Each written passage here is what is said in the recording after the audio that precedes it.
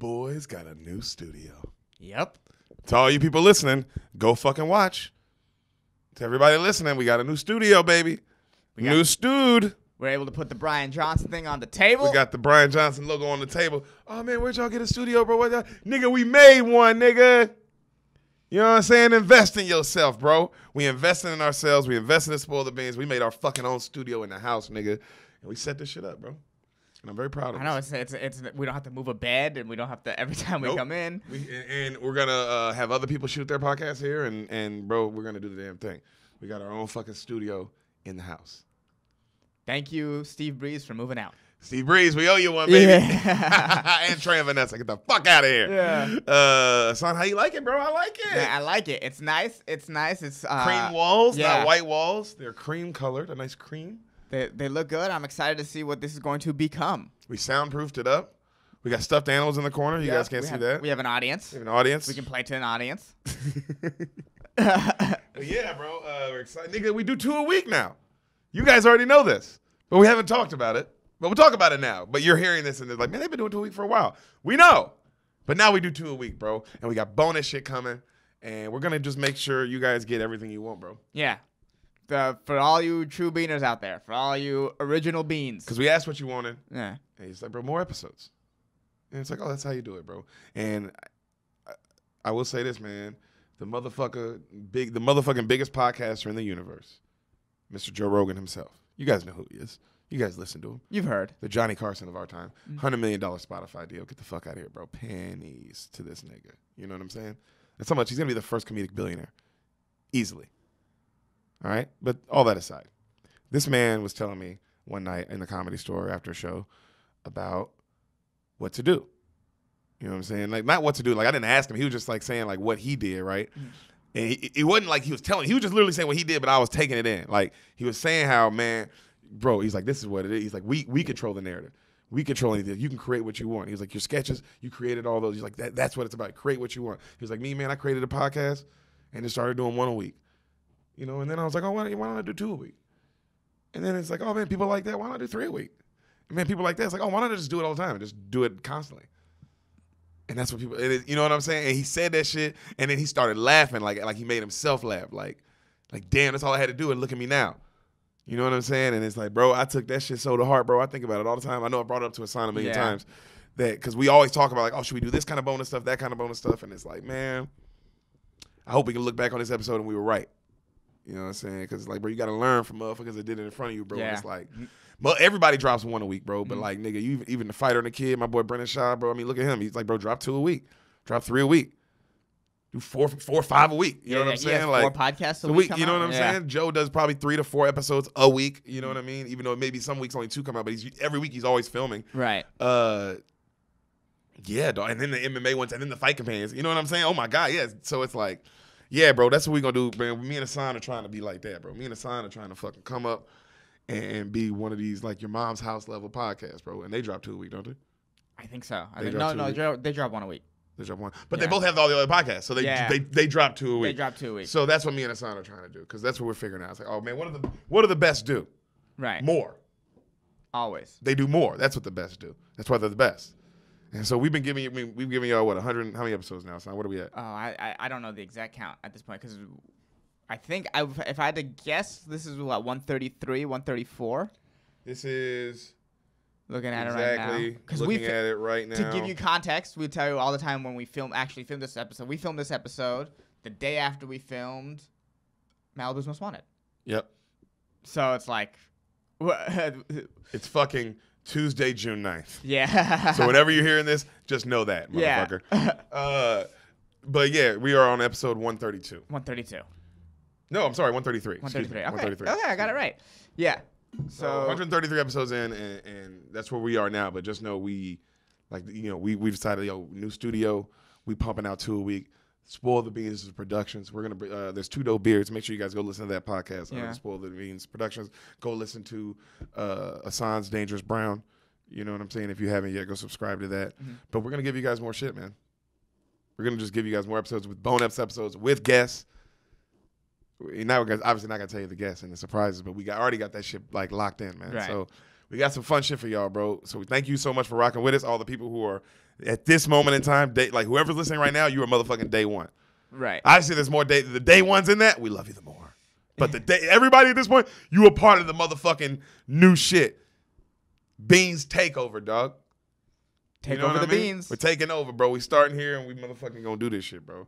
And we love y'all and thank y'all for rocking with us and just keep fucking doing it. Keep doing what you're doing, telling your friends and stuff, man. We appreciate it. Yeah, we do. We do appreciate that. You know Uh, uh, shout like you know, the commenting on the YouTube and like wh- whenever we ask you guys like, hey, give us your favorite poop stories. You guys are fucking great about that. Yeah. yeah, you guys Yeah. are great about responding, man. We appreciate it. And uh, we're only gonna get better, bigger, and drop more shit for y'all, bro. It's for y'all. So thank y'all so much for rocking with us. We love to do it. Uh, also, uh, happy Fourth of July. Oh yeah, it's it's that time. Yep, they're about to have Fourth of July in a couple of days. So happy Fourth of July. Yeah. Man, go spend some time with your fam and uh, don't die. Um, yeah, I wonder what this is gonna be. Well, I wonder what this year's Fourth of July is gonna be like. It's gonna be. It might be different than a lot of other Fourth of Julys. Probably so. Yeah, you know, it's uh, it's gonna it's gonna be a it's gonna be a different one. Probably so. Did you do your homework? I did my homework. I watched Malibu's Most Wanted. How was it, buddy? Oh man, I was in it the moment when they walk up to the candle store and they're walking in the same way. They, that shit was crazy funny. And then you hear Kal Penn talk for the first time. You're like, oh, because it's like it's crazy. Like back then, it's like, okay, that's this character, right? It's whatever.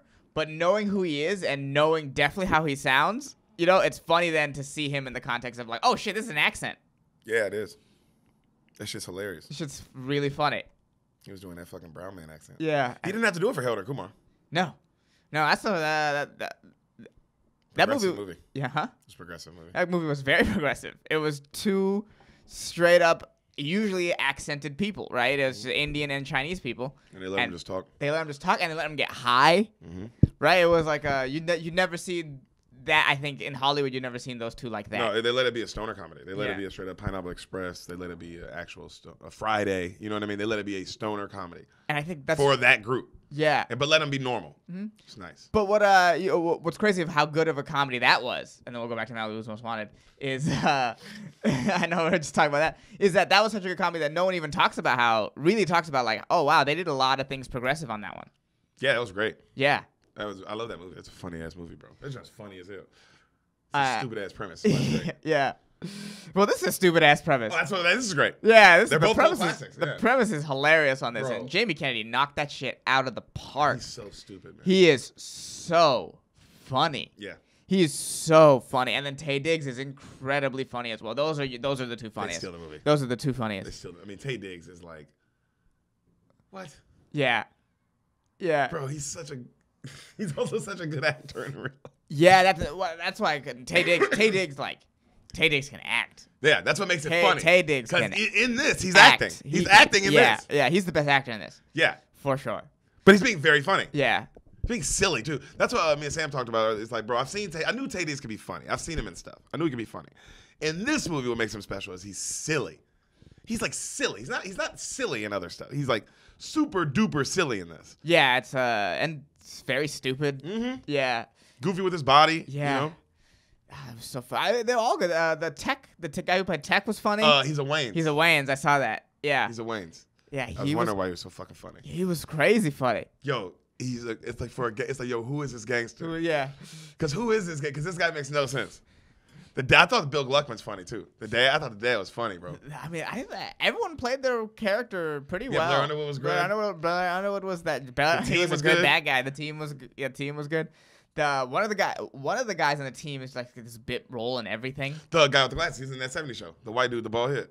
Oh, well, the two of them, I should say, because yeah, he's he's in a bunch of shit, and then the the fatter white guy too. He's in a million bunch- things, He's in a million things. Yeah. Yeah. he's in Heroes. He was in A Star Is That's what Born. Sam said. Sam was like, he's in Heroes, and I was like, I've seen him in a bunch of other shit. He's Yeah. in Stars Born. Yeah, he's the the chauffeur. Yep. Mm-hmm. He sure fucking is. Yeah. oh man. Yeah, man. It was just it was a good time. Yeah, it was. It was a good time. Uh Yeah, I, I I I couldn't I can't I can't even think of like even if I were to be critical of it, it's like this is a movie that knew exactly what it was. and it Yeah, it'd be hit- impossible to be critical. It's impossible to be critical of this. Yeah. It's like It's like being critical of Joe Dirt. It's like, well, what are you criticizing? right, right. But no, like even like even a comedy like this can miss its mark. But I, I don't feel yeah, like they can try to. Yeah, yeah, that's it. I don't. I don't feel like it missed its mark at all. Yeah, You know, I feel like it was uh, exactly. Regina Hall's great. Yeah, yeah. She's amazing. She's, She's really hot. hot. Yeah. that woman even like a. She's hot. She aged even as well. like a yeah, like, like a She 50, aged well. She's like stupid. She's still stupid hot. she bro. aged well. She's She a great fine, actress too. and she's funny. yeah, she's a great actress. Yeah, and she's had a crazy career. Yeah. She's been in She's like in everything. She's in like, the scary movies. She's in all of them. oh fuck. She's the black girl in all the scary movies. Yo, I never, I like, I just never, because I watched the scary movie so long ago. Yeah, I mean, yeah, that's a long time. Yeah, I never put it together. Scary movie two, best one. Oh yeah, yeah. It's like the Shreks. Um, now that you, but now that you say it, it's like, oh, I cannot see Regina Hall. Of course, it's, of course, it's her. Oh man. Yeah, Of course, it's, like, her. oh yeah, it's hundred percent her. Dude, she's funny, man. Her her career is like she's been in so much shit. yeah, she's killed it. She's killed it. She's talented. When you're ta- when you're talented and hot, that's un- that's Dude. that is unfair. I, uh, I- it's a great quote I heard. You can do anything you want if you sexy. I think I don't know if it was Malcolm X who said it, but somebody said it, and I agree with it 100. percent sounds sounds like Malcolm X. From what I know about him, which is absolutely nothing, that sounds like Malcolm X. Ooh, it's like I ask you your, your question real quick Yeah. before we get out, out, out of the intro. Yeah, What's your take on Malcolm X. no, real quick, because we we do love sports around here. Uh-huh. Two questions. Your take on baseball, Mhm. what's happening there. Okay. Three questions. I'm sorry. You take on baseball, Okay. take on the NBA playoffs, and Okay. take on what's going on in the UFC right now. Because that's the three things that are happening right now. Baseball first. Okay. Baseball first. Um, it's at this point we're near July fourth, right? I would think at this point. So I'm saying this from June 9th, but I'm saying at this point, even in July, near July 4th, I don't know if there's a plan for baseball to come back. I think the baseball owners are too greedy, uh, Selfish as fuck. selfish. They They lose their sport. uh, I don't think they understand how on the cusp they are of being a top three sport. Because right now, they're a top three sport. Right now. Well, as of 2019, they're In top America, they are top three sport. I No questions asked. I think if they don't play this year, they already have no mar- They already have no stars. No marquee player. There's no like they have like if you love baseball, you're like, oh okay, of course like Bryce Harper and Mike Trout are great, but like they're not. Who's Derek- LeBron James? Yeah, there's no Derek Jeter. There's no Barry Bonds. There's no there's no star that transcends the sport. Yep.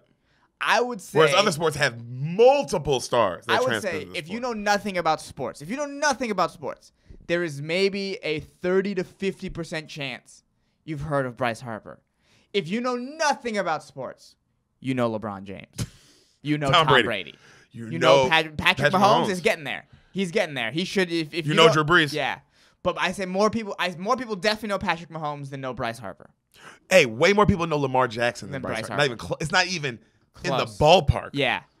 Um. Russell Wilson. Yeah. And that's, that's the thing. Aaron Rodgers, you can name all these sports. Damian Lillard, you know, Russell Westbrook, Kevin Durant, James Steph Harden. Curry, James James, Harden. Giannis now, Kawhi. Those Yeah. guys are marquee superstars. Yeah. Where is like where where is there even bro? Where's baseball's Lou Williams? Who? Who? Where's their J.R. Smith? Yeah. uh, Where are those kind of stars? This is uh th- this is uh indication of how baseball's hurting. Uh, so you know who won the World Series last year? The Nationals. Yes. Can you name three players? Nope. Can you name one? Somebody good. Okay. Who, who is that? Who's that? Somebody good. Uh, there's there's three I can think of. I'll give you Strasburg. Okay. Um. I know that name right when you said it. I was like, yep. Yeah, yeah, yeah. But you like you like sports. You know what baseball is now? And you said this yesterday because we watched a mystery movie. Mystery movies are good because you don't know anybody's name. Yeah. You, You, don't, have remember to. their name. The whole point is the characters in the story. Yeah. You remember the detective, and that's it. Yeah. They have turned baseball into that, which I don't agree with. Yeah, yeah. Why uh, like you know you know you know the ch- like you, you- people don't even know. I would say the average person doesn't know who Altuve is. They know the Astros cheat. They know the storyline. And if it's a guy who doesn't take a shirt off in front of his wife Yeah, or whatever. Yeah, something like that. They know some vague thing like that. it's just you but know you what I know, mean? Ehsan, how much do people know Kawhi Leonard doesn't like smile or laugh compared to who even know who Altuve is. Yeah. Not only do you know Kawhi Leonard, you know he doesn't smile. Like you know a you personality also- trait about him. Also, you've heard his robotic laugh because it trended. You, you've heard, you've heard of this guy who's a robot, Yeah. Mm-hmm. who's this like robot basketball player. He's not even as fa- He's not the most famous. It's not like he's the most famous player. It's like no, no, no, bro. He's like top ten marquee star. Yeah. I don't know. Yeah. So I don't know baseball. I don't know how you recover from if you don't play. Owners lose. You're all billionaires. Lose a little money this year. Rich fucks. You it you fucking like I, this is just shows the it's the problem is everything. The system in every facet. In the way we police people, in the way we fucking handle pandemic, in the way we fucking run our entertainment. The system is fucking corrupt as fuck. Play the game. It's not about you. Also, it is about you because you're losing. you're you're you because the baseball owners are thinking we'll come back next year and we'll make all the money we'll make again. It's like no, you won't. You're f- one. We don't even know if we're allowed back in the stadium. Two, even if you are, you've lost a whole year's worth of new fans in a sport that's already declining. Yep. It's a bad business decision, and baseball, you deserve everything that's about to happen to you for it. Okay. Question number two. Well, Hold up. because this ties into question number three. So Go I kind of want to skip to that. Now, this is a prime time for UFC to come in and take that spot. Okay. Now this is my question. Why won't they? Because you know I don't think they will. Because they're. Fu- and, and I think they can, Because but I don't think they will. Now why do you? System is corrupt. They don't want to like their stars are realizing that I can if even if you're not a Conor McGregor level star, like Jon Jones. if you're Jon Jones, you Who is that Conor McGregor level athlete? Athlete. I'm not saying Jon Jones is a better fighter than Conor McGregor. I will admit that probably. You know, I, he is, but that's not, not what we're talking about. He's not a bigger celebrity. That's No. okay. Just so people know, he knows what he's talking about. I think he can get more. If I were to guess, if he were to set up a fight, he would probably get more money than what the UFC is paying him. John, Jon Jones. Yeah. absolutely. Yeah. So it's like he would be able to get more money. With the promoter, yeah, absolutely. and and then UFC, uh, like uh, Brendan told us before, how they used to have uh, uh, uh they could have, have promotions on their shorts Before Reebok bought them. before, yeah, and then now that they can, now they can't. yeah, now they like- all they're all just under Reebok. Yeah, and so they've lost. They've already lost that. So you're already slowly like, you have enough to buy an island, bro. Let's talk about that. You have enough to buy an island. It's like, yo, th- and, and, a lot of these executives fail to realize is this, the, that's the sort of addiction of money, is that even if they were to take a cut from their pay to pay their athletes more, he could still buy an island. That's the fucked up part about all of it. Is that the bro wants I has island money, but he's like, this is not enough until I have two island money, and then two island money won't be enough because man, I want three island money. That's how that shit works, and uh, That's uh, how money works. That's bro. how money works. That's That is how money works. I don't know if people are like, oh, but there's this. That. Like, no, bro, that's not what we're talking about. We're talking about how money works. yeah, this is the reason why um, uh, the American worker hasn't gotten hasn't gotten a pay raise in however long, while the companies make billions and billions of dollars. It's the same reason why these fighters are getting fucked over in the deals. Their pay rate, their rate isn't really going up in accordance to how much money is actually being made. Mhm. And if the if if the fighters leave, if the big fighters leave, then the UFC is fucked, right? Because all that will happen is that the UFC will be used as a training ground until the fighters become good enough, and they'll To be make like, their "I own money." out, Because they're like, oh, I'm a superstar. I don't need this fucking I building. out." And what the UFC It'll be college. yeah, what the UFC doesn't realize is that if they pay enough, the fighters the fighters want to fight more than they want to promote, right? The only reason they're promoting is because they're getting fucked on the deal. So if you give them a good deal, they're gonna stay with you because they don't want to go promote. Not all of them. Not all of them are McGregor's. A lot, you know what I mean. Mc, McGregor is a special. John type. Jones isn't a McGregor. McGregor, yeah, That's the point. John Yeah. Jones, like Jon Jones, is a you- star because he's a he's the best. Yeah, if there you- are people who are stars because they're the best. Yes. If you gave him the option of like you can promote this fight or you cannot, he'd, be, he'd probably more often than not he'd say, well, if I get a fair deal on not promoting it, I'd rather just not do it. Well, they promote it because it's like the, I mean he's gonna promote it, but it's just like this is the thing because all fight the, you gotta remember because it, it's not even that you're promoting it. It's like you do you're fighting another person. You kind of got you get yourself in. Right. There is more to it than that, I think. But Conor McGregor's gonna promote it in a way that like no, it's different. Yeah. Well, I, I, It's a personality thing. I don't mean not promote it, but I'm just saying. I guess the right word is that he. In, in, now fighters are trying to be the actual promoters too. Where like that the guy who'd like oh, you mean yeah, Floyd Mayweather's? Yeah, yeah, yeah, yeah. Want to make all that money? Yeah. But I would say there's a, the UFC. There's a fair amount of stars in the UFC that aren't interested in that. But the fact that they're getting fucked on the deal, they're like, well, might as well do it. You know what I mean? You're forcing your stars to become it. Where if you're the UFC, you can win on complacency. You can win on complacency. It's there. It's there. People will. There are those star people that will fight for a little less if they don't have to do all the other shit. And that's and the Man, UFC. fuck all that shit, bro. Just let these niggas have an independent contract. That's what they should do. But that's what they should do. That's what they should do. Fuck all that shit. But then you don't get to own them. I get that. But man, fuck all that shit, dog. It's like let these niggas. You built up the sport. It's like, hey, bro, you gotta let it go. Mm-hmm. You built up your baby to be what it is. Let her fly. Yeah. Let her, let her fly now, dog. She's uh she's you you Conor McGregor, bro. You know what I'm saying? Like he changed your sport, fool. That's how famous that nigga is. Cause that nigga's more just as famous as LeBron James. You know Tom Brady, Yeah, like yeah, he's that he's he's, he's that he's with them. He's sitting up there with them boys. Mhm. So it's like, bro, you, you got you can't and that nigga's retiring now because like this shit is bullshit. Like you you like he's like, bro, I can make I can make I fought Floyd. I know how much I can make. Yeah. I fought I fought a guy who got paid more, and I know if I fight him again, I, my numbers go up because I'm Conor McGregor now, baby. Like, bro, you gotta pay these niggas, dog. You gotta pay these niggas, fool. But ooh, I saw a dude take a Dana White to task on ESPN. That shit was funny as hell. What do you say? He said how uh, because Dana White was saying all the good points because he, he's got, don't be wrong, Dana, Dana White has points too. Yeah. You know what I mean? And he was saying it's a business and all that, and he's losing all this money. It's not like he's gaining money. He's just losing money. He's just trying to keep his sport and his business afloat. And the black dude was, hey, bro, I commend you for that. Nobody's saying, he's like, I'm just an athlete. I don't know anything about your business. I'm just an athlete. You know, whoop whoop. And he goes, and just so you know, I'm the only company that, like all these other NBA leagues and whoop de whoop and NFL, they have to pay their, they're to pay their people less. They're already setting up deals to pay their people less. I've kept the contracts the same. And the dude said, well, it might be a problem that you're already paying them, that you don't have to pay them less. Dana was like, you know, and it's just like, hey, bro, I agree with him. It's like, hey, bro, you bragging about it, but maybe it was like, yeah, maybe you don't have to change the pay because you're like, oh, it doesn't even fucking affect it, as Dalia would say, Yeah. doesn't make a dent. So yeah, UFC, change the shit. Last question, Simon, before we wrap this up. Okay. Basketball, NBA playoffs. Um, How do you feel? 22 team play in with the elimination game for the eight seed. I, I, I get what they're doing.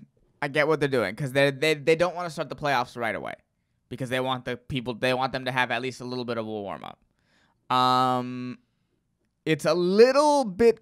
I'm not a little bit 100 percent clear clear what the actual like the full rules are to get in, but it also does seem a little manufactured to get certain people in. They're fucking over my Grizzlies. There- It does seem manufactured to really try to get Zion in, and it's And uh, at the worst case, Damian Lillard. yeah, at the I mean, but like, and here's the reality of, uh, of the situation of like how that could turn around and screw the NBA instead of just starting the playoffs immediately is that in front of the Pelicans, in front of the Trailblazers, and just behind the Grizzlies are the Kings. The Kings are the ninth seed. The Kings were a very hot team when the NBA ended. So if you're try if you're trying to manipulate it, there's a reason why there's like like 13 teams in the West and only nine teams in the East playing. But if you're trying to manipulate it, so you get one of your stars in, and let's say you're trying to get Zion over Ja or Lillard over Ja, and the Kings Because those in, are the two. yeah, and the Kings get in. Well, then you've lost Ja for the playoffs over the Kings. And you had a star. You had a star. The Kings You had a bona fide. Mm-hmm. Already, it's already the, the, they've beaten the Lakers this season. They went one on one with the Lakers the two games they played. Yeah. You know what I'm saying? It's Yeah. like it's already fine. Also though, It's already fine. yeah. Also though, if that to cheat my motherfucking boys, bro. if that happens, congrats to the Kings for beating those guys. Oh, bro, if that's what's gonna happen, bro. Y'all gonna Yeah. try to manipulate shit, this shit, and the Kings gonna win the motherfucking world title, and then it's gonna Yeah. be like, well, yep, well, take That's- that, That's what you deserve. take all that, and deal with that shit, bro. The sorry ass Kings are the fucking champs, and I'm not saying like, oh, by default. Nope, they the champs. They won fair and square, bro, because they did. Whoever wins wins fair and square. I Yeah. hate when people say like, oh, this, that. It's like, hey, whoever wins in that playoff series wins. Wins. Period. Wins. Whoever wins wins. It is no what it is. no nothing. No asterisks. Ain't no asterisks, bro. Oh, but it was this, that. No, no, no, no, no, no, no, no. The playoff, uh, unless they do something weird, like, hey, we all have to do like a one game elimination playoffs, then I'd be like, all right, maybe that's an asterisk by that winner. But it's like, oh, no, they're doing a straight up playoff series. Nigga, whoever wins, wins. And I get why they have to do the eight games. You can't just have them go straight into the playoffs. Right. The eight games, you got to have them have some games. But I don't like, it should be, hey, bro, in these eight games, what happens, happens. Yeah. If you go on an eight game win streak, other teams, and you and the Grizzlies lose, Is- then you get in there. Is there is there any other sort of weird rule? Uh, it's yeah. didn't whoe- read- so the elimination game is so whoever's the eight and ninth seed play an elimination game. A one game elimination game? Two, uh, three game technically. Okay. So the AC just has to win once. What's called C has Nice to win twice. Okay. So we can go technically to three. Okay. I, and I get the idea that the idea because it's like more games, more this, more entertainment, more money, all more more money, and it's like this: if you're the one seed now, the the home field advantage is gone, right? Yeah, like that's the big advantage. So it's like I get like you get a tired out eighth seed or a Yep. tired out ninth seed, a little bit. So you have a little more rest than them, I, and I get that. But when it gets to that finals, that advantage is gone. Yeah, Which sucks. yeah, which does suck. But like for teams like the Clippers, it's like, oh nigga, we never had a home court advantage anyway. Yeah, This is great. Let's play with no fans, fucking Lakers. Let's go. Let's now let's have that West Conference Finals, Lakers, it changes. where it's not seven straight home games. Yeah, it changes. It changes the vibe of the game. Ooh. changes the vibe of what uh, appear what might be the Western Conference Finals. I don't even know anymore. How can you even make predictions? I mean, like you can make predictions based on what you think was what was I, happening. And, I mean, and it's Le- just it's on the LeBron. team. It's, it's and Kawhi. It's the Yeah. team, and they've re- and they've been resting. Mhm. And Anthony Davis. Uh, I I would say I don't see how they don't make it. I would say that now one of them's gonna make. I, the East is where I'd be like, nigga, I, I don't know what's gonna happen. The East is a little crazy anyway. yeah. You know what I'm saying? The East is already crazy. I I think the West, man, I don't see anybody. And I'm just being honest with you. And you tell me if you do. I don't see anybody really upsetting either one of those teams. I think uh, I, I I think a team like a Denver might come out of nowhere and surprise a team. Do you see one of them is making it? Yeah, I, I Do you, think, like, do you see both of them? A world where both of them get upset. no, but I can see one of them getting upset. I could definitely. Who do you think it'll be? You Probably guess. the Clippers. The the if I had to guess, it's gonna be it's gonna be Lakers. Lakers still have Kobe. Yeah, I, I think it's gonna be Lakers. I think still it's something to be play for. Lakers Nuggets in the Western Conference Finals. If they if mm-hmm. one gets upset. Like everybody else, they have something to play for. Don't be wrong, but the Lakers have still have like, no, this championship means everything, Yeah. and that is a different level of different gear than everybody other every other team's gonna have. Also, they have the best leader. As far as leaders in the NBA, because say what you want about all this, I think Kawhi's the best. I think this player's the best. All right, he may be, but the best leader in the NBA is LeBron motherfucking James. Mm-hmm. It's just like who's the best leader in football, bro? It's Tom Brady. Now it's like Mahomes coming, and is there this and there that? Absolutely, of course. I think Ja Morant's going to be one of the best leaders in the NBA when he's done. I think that guy has an Isaiah Thomas thing. I think he has a Chauncey Billups effect. I think he has a Tony Parker kind of. He's a champion. Mm-hmm. Ja Morant, like he now, will he do it with the Grizzlies? I pray, but that dude's going to win wherever he goes. I'll say that. I'm calling it now.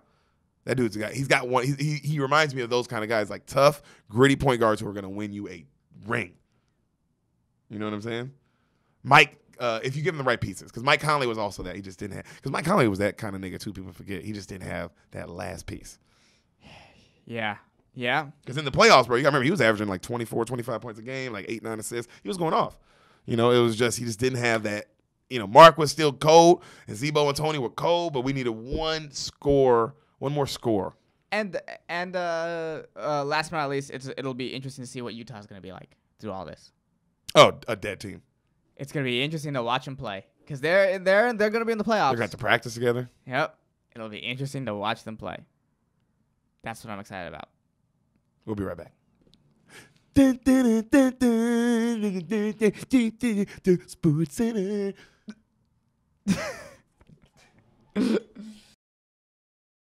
Beaners, this is your intermission right now. Before we get into the episode you are here for, uh, really quick, thank you for listening. We love you. We do. Uh, please subscribe to us on YouTube.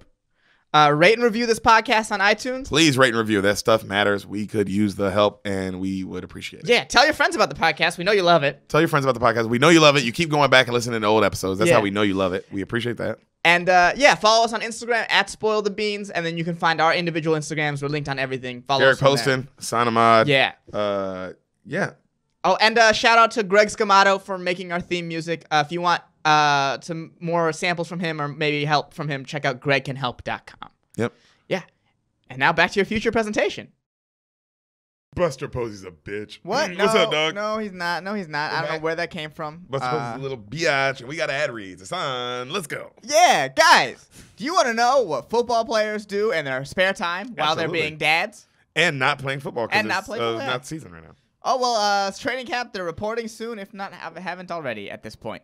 Uh, Yeah, I guess it is coming up. yeah. Well, Well, I don't think I'll be able to do that. I'll find a way to ignore the problem. Uh, but But aside from that, but besides that, if you want to see their day to day life, you should follow Darren Bates on Instagram. Darren Bates on Instagram. He's my best friend. He is sexy and he is gay or so, or no, he's dad. He's a dad. He's a dad. Yeah, he's Which one of those. is- I knew he was one of those things, but I like the guy. Super gay. Uh, D A R E N B A T E S. Darren Bates. Westland underscore underscore Westland son underscore 56. The Jews may be here. That's not his slogan. Wrong slogan. Oh, uh, yeah. not his slogan. Yeah. Uh, Darren Bates. Uh, go follow him. He's a good guy and Yes. good follow, and he pays for that.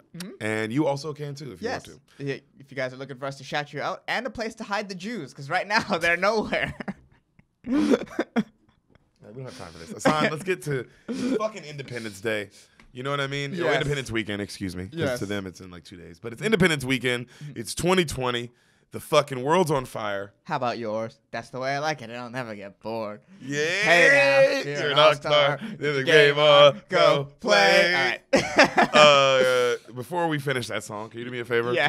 To help me celebrate Fourth of July weekend, okay. Yes. can you tell me Mm-hmm. what you think happens? Mhm. In the 86th greatest movie of all time, According to every uh, no no no no according to uh, the the international study they did, like the AFI oh AFI AFI American Film Institute. Mhm. Okay. Platoon. Oh.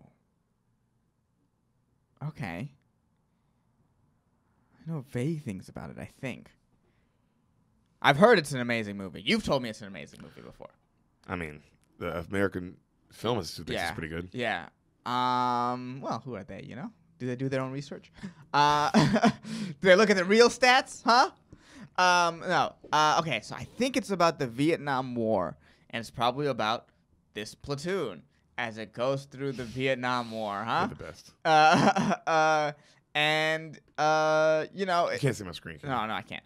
Uh, it's about maybe one, like, let's say there's, I think they're sent on a mission, and I think this is 83rd number. I'm sorry, 83rd, not 86. 83rd. Okay, so this one, this probably won a best picture and all that sort of shit. Oh, yeah. Yeah. Okay.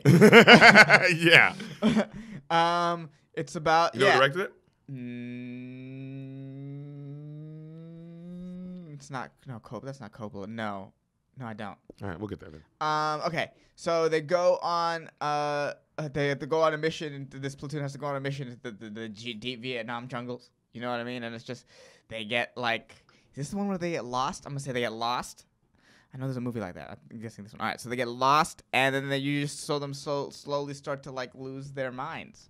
I guess. Well, they're like they're trying to fight Viet Cong, but they don't know who, they don't know where they are because you know there's that they're the unseen enemy, and they fall into booby traps, and then you know at some point, so, pro- so probably this is about Vietnam, someone frags their own commander or whatever. You know what I mean? There's some infighting going on, and then uh, What they do? What does that mean? Explain it to the listeners. So when you frag uh, a lot of people uh, from this is what I, this is from a long time ago. I heard it's something like when the the soldiers either went crazy or like they, they sort of mutinied, they would throw grenades at their own people Mhm. and their own commander. Like when especially when they were given like orders that they didn't like. I think and Mm-hmm. I'm not 100 percent sure. I don't know a lot about the Vietnam War honestly. Um yeah, and then maybe Because you hate the gooks.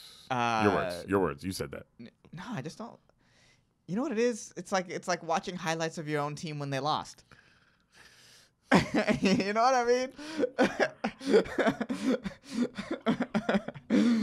you know, like I don't need to watch the Super Bowl highlights. You know, I don't. I, I get the general vibe of what happened.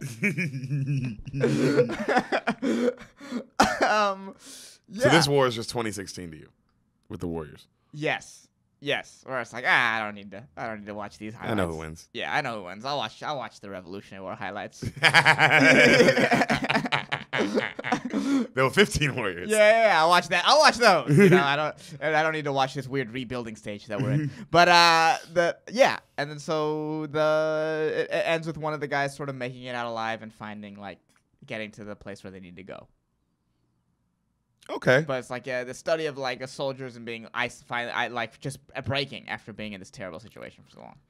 Okay. hmm Not this movie at all. Okay. I'm kind of curious what movie you're describing because there a little bit of it was Apocalypse Now, Okay. which is another movie about this. But then, Okay. then you kind of got into something else where I was like, well, that, that's not Apocalypse Now. So I was kind of like, did you? I- I've never seen Apocalypse Now, so I'm I know you haven't. I, oh, I knew you haven't. yeah. Uh, this is just a pure Pure guess. guess. But I know that's, that's the movie you heard. It's not you. None of that. Every you were just as wrong on Hardball as you were on this one. Does that make sense? Okay. Like you, you completely. I, you could tell. I was like, oh, he thinks this is Apocalypse Now, and then the other half of that was like, I don't know what movie you're talking about. Okay. So I was actually kind of curious, like, what movie is that? that No, I just of? sort of made it up as I went. I, Okay. I feel like I heard someone describing a movie like this at some oh, point. Oh, you heard of Apocalypse Now? Yeah. That's what you heard of as far as the mental thing and all that. Okay, This is not has nothing to do with that. Okay. Is this Vietnam? This is Vietnam. Okay, That's okay. the that you were right about that. But you that's what you the movie you you were talking about another movie. This has nothing to do with what you said. Oliver Stone directed this. Okay. Oh wow. And what makes this a special movie, Ehsan? This is the first movie ever. That he's gay. I don't even know if he's gay. Actually, he could be. Now that I say it out Well, he's loud. not gay, but he is a woman now.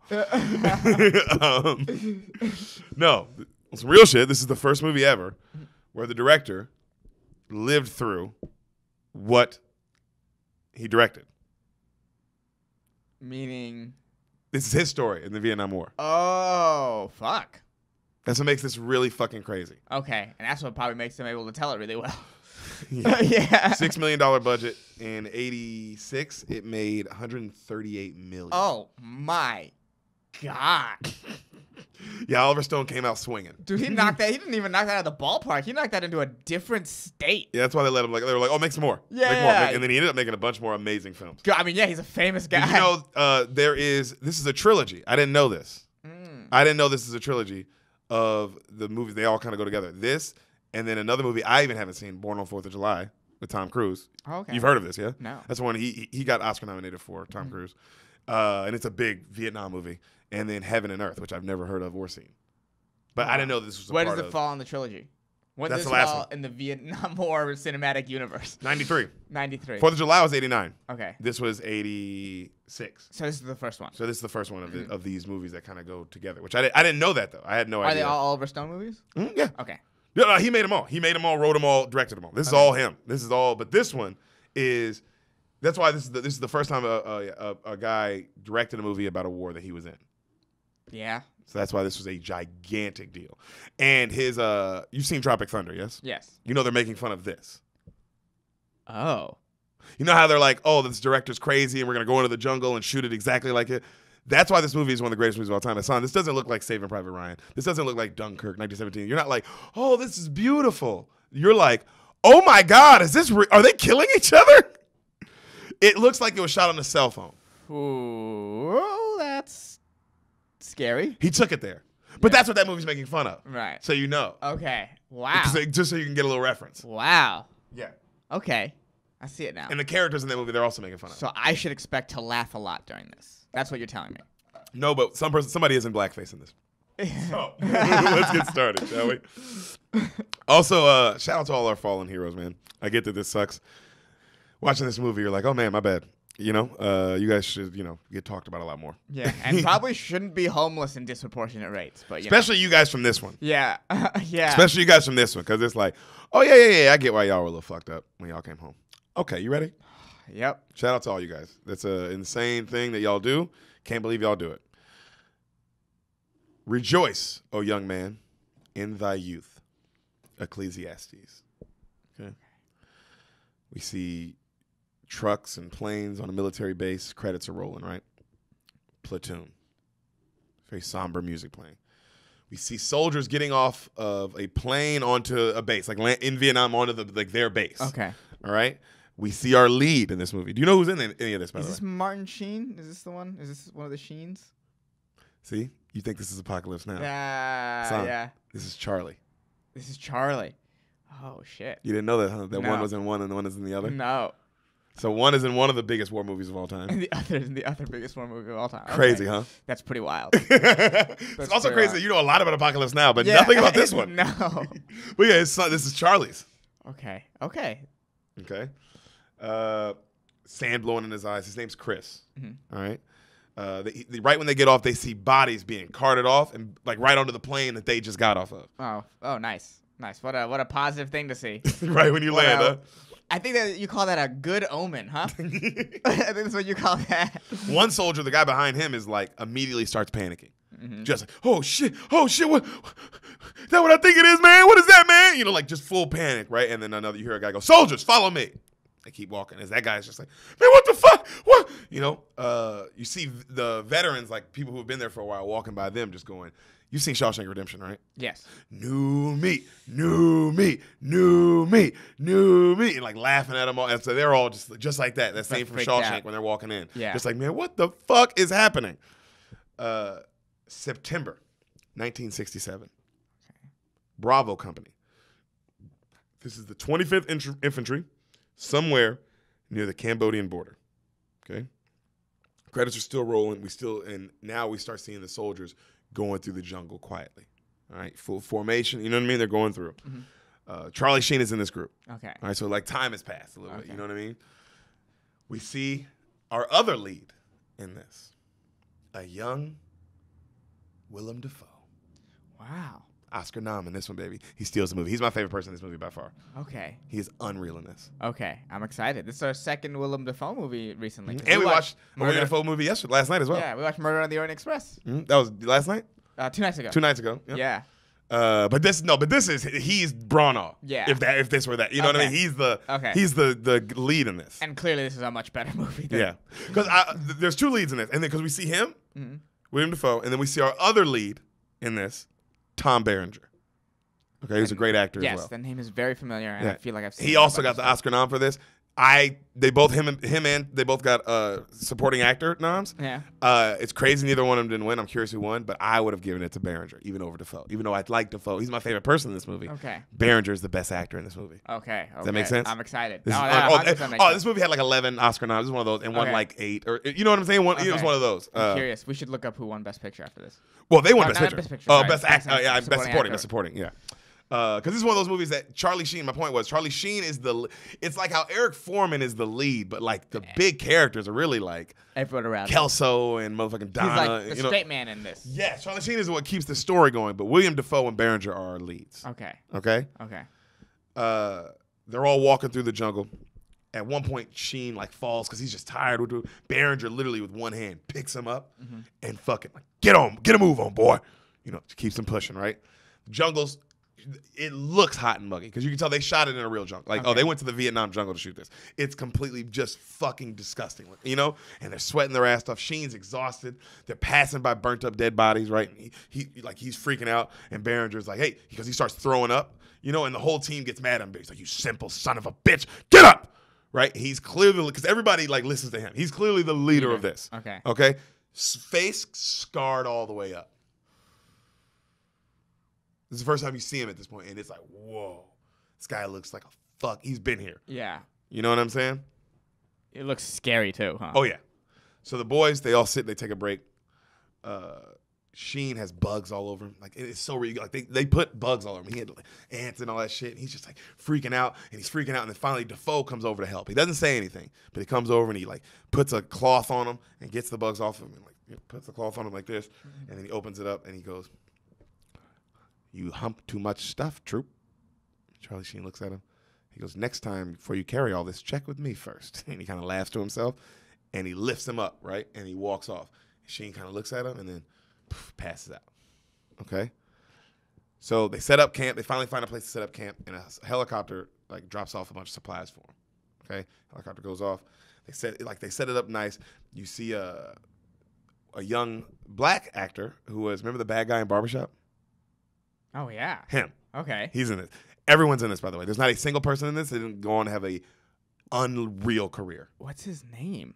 Forgot his name. He's a great. He has a name. I forgot his name in real life. Fuck, I can look it up right here though. It is.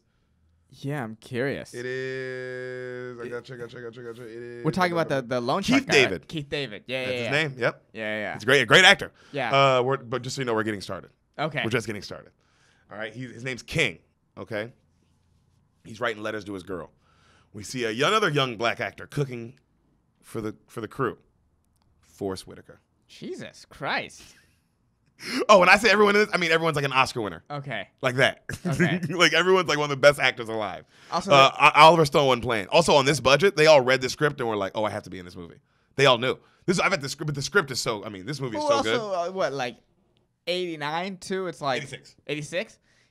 It's not like he's the. f- He's, it's, it's not Oh, none of these guys are famous, other Yeah, than yeah. Dafoe and Berenger. Is Dafoe famous? In Dafoe's, not, I mean, Dafoe's big enough to get a lead, uh, like this leading role, Okay. for sure. Okay. Berenger's, for sure. Berenger's famous. Uh, Charlie Sheen's a name, but he's got, but he's been in some stuff by at this point, eighty six.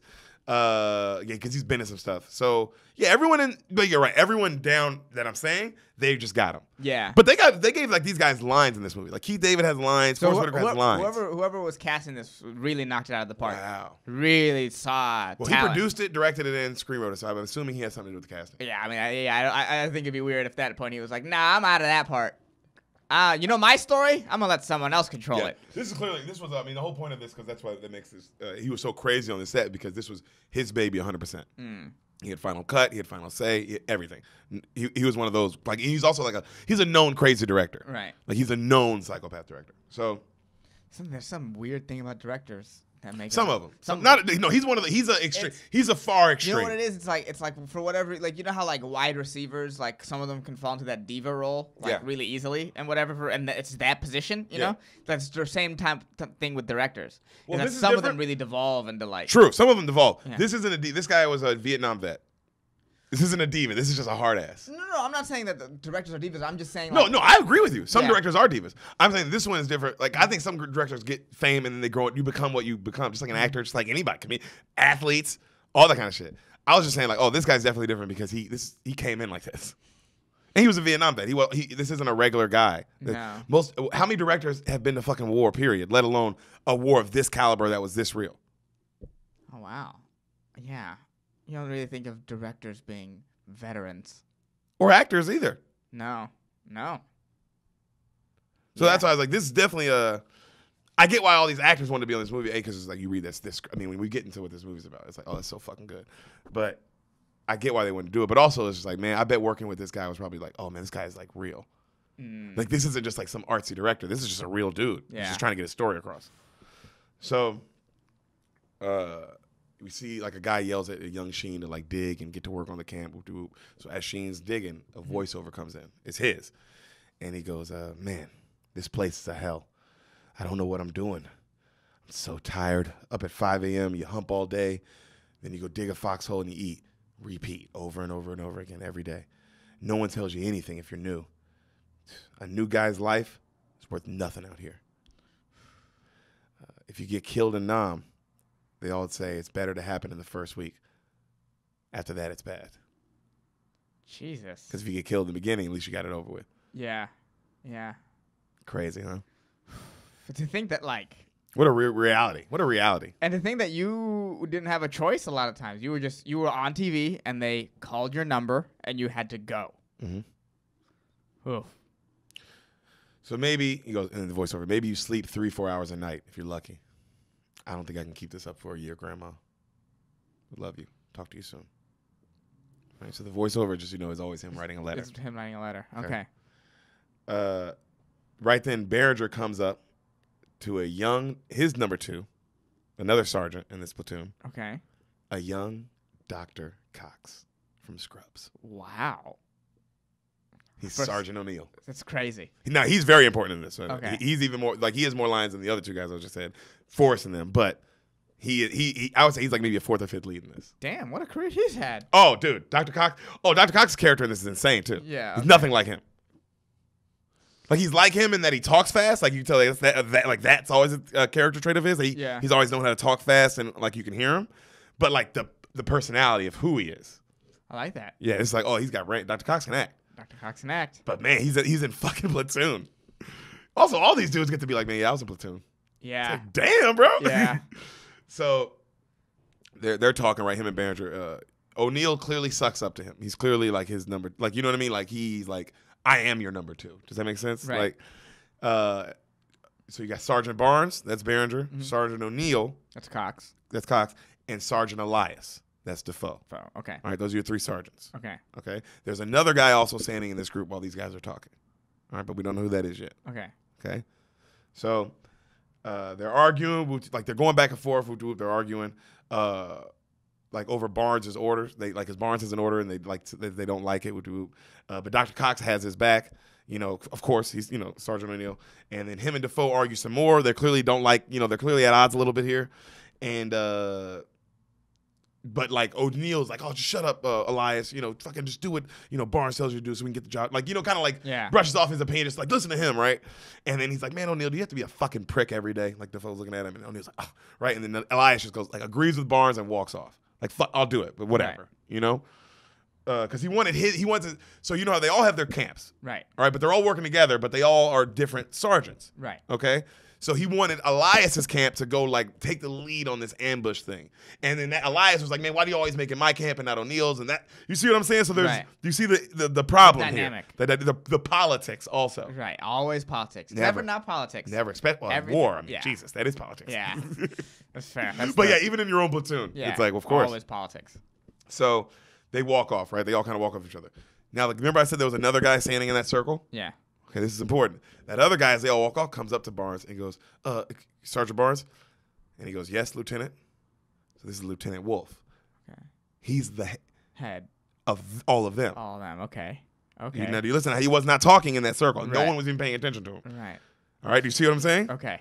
He goes, "Hey, uh, uh excuse me, Barnes, but do you, do you mind in front of the men if you, you know, if I, I think I should be the one giving the orders, don't you think?" And Barnes looks at him and goes, "Yes, sir," and walks off. So now, are you getting with a, just getting a little bit of the, the Okay. of what's already kind of happening And here? who plays the lieutenant? uh, an actor you recognize, you were gonna recognize. He's not as famous as other guys, but he's he's had a great career too. I don't know his name, but he's had a great career as well. Okay, so this is the this is the political dynamic that's going in on this. So you got three guys who are clearly the who- who are now these are the hardened guys. These are who the troops listen to clearly. Right. And then you got another guy who's in charge of it all, who doesn't look anywhere near as right. His suit's all clean. Does that make sense? The other guys aren't even wearing their fucking gear. Okay. They're wearing just ragtag shit. Okay, so he ain't even close to what they're going through. Ooh, man, really puts a, really puts war into perspective. That one scene, huh? Just like that, because it was important. Yeah. That's very important that for the rest of the whole movie that you that you know, okay, the dynamic of what's happening here. right.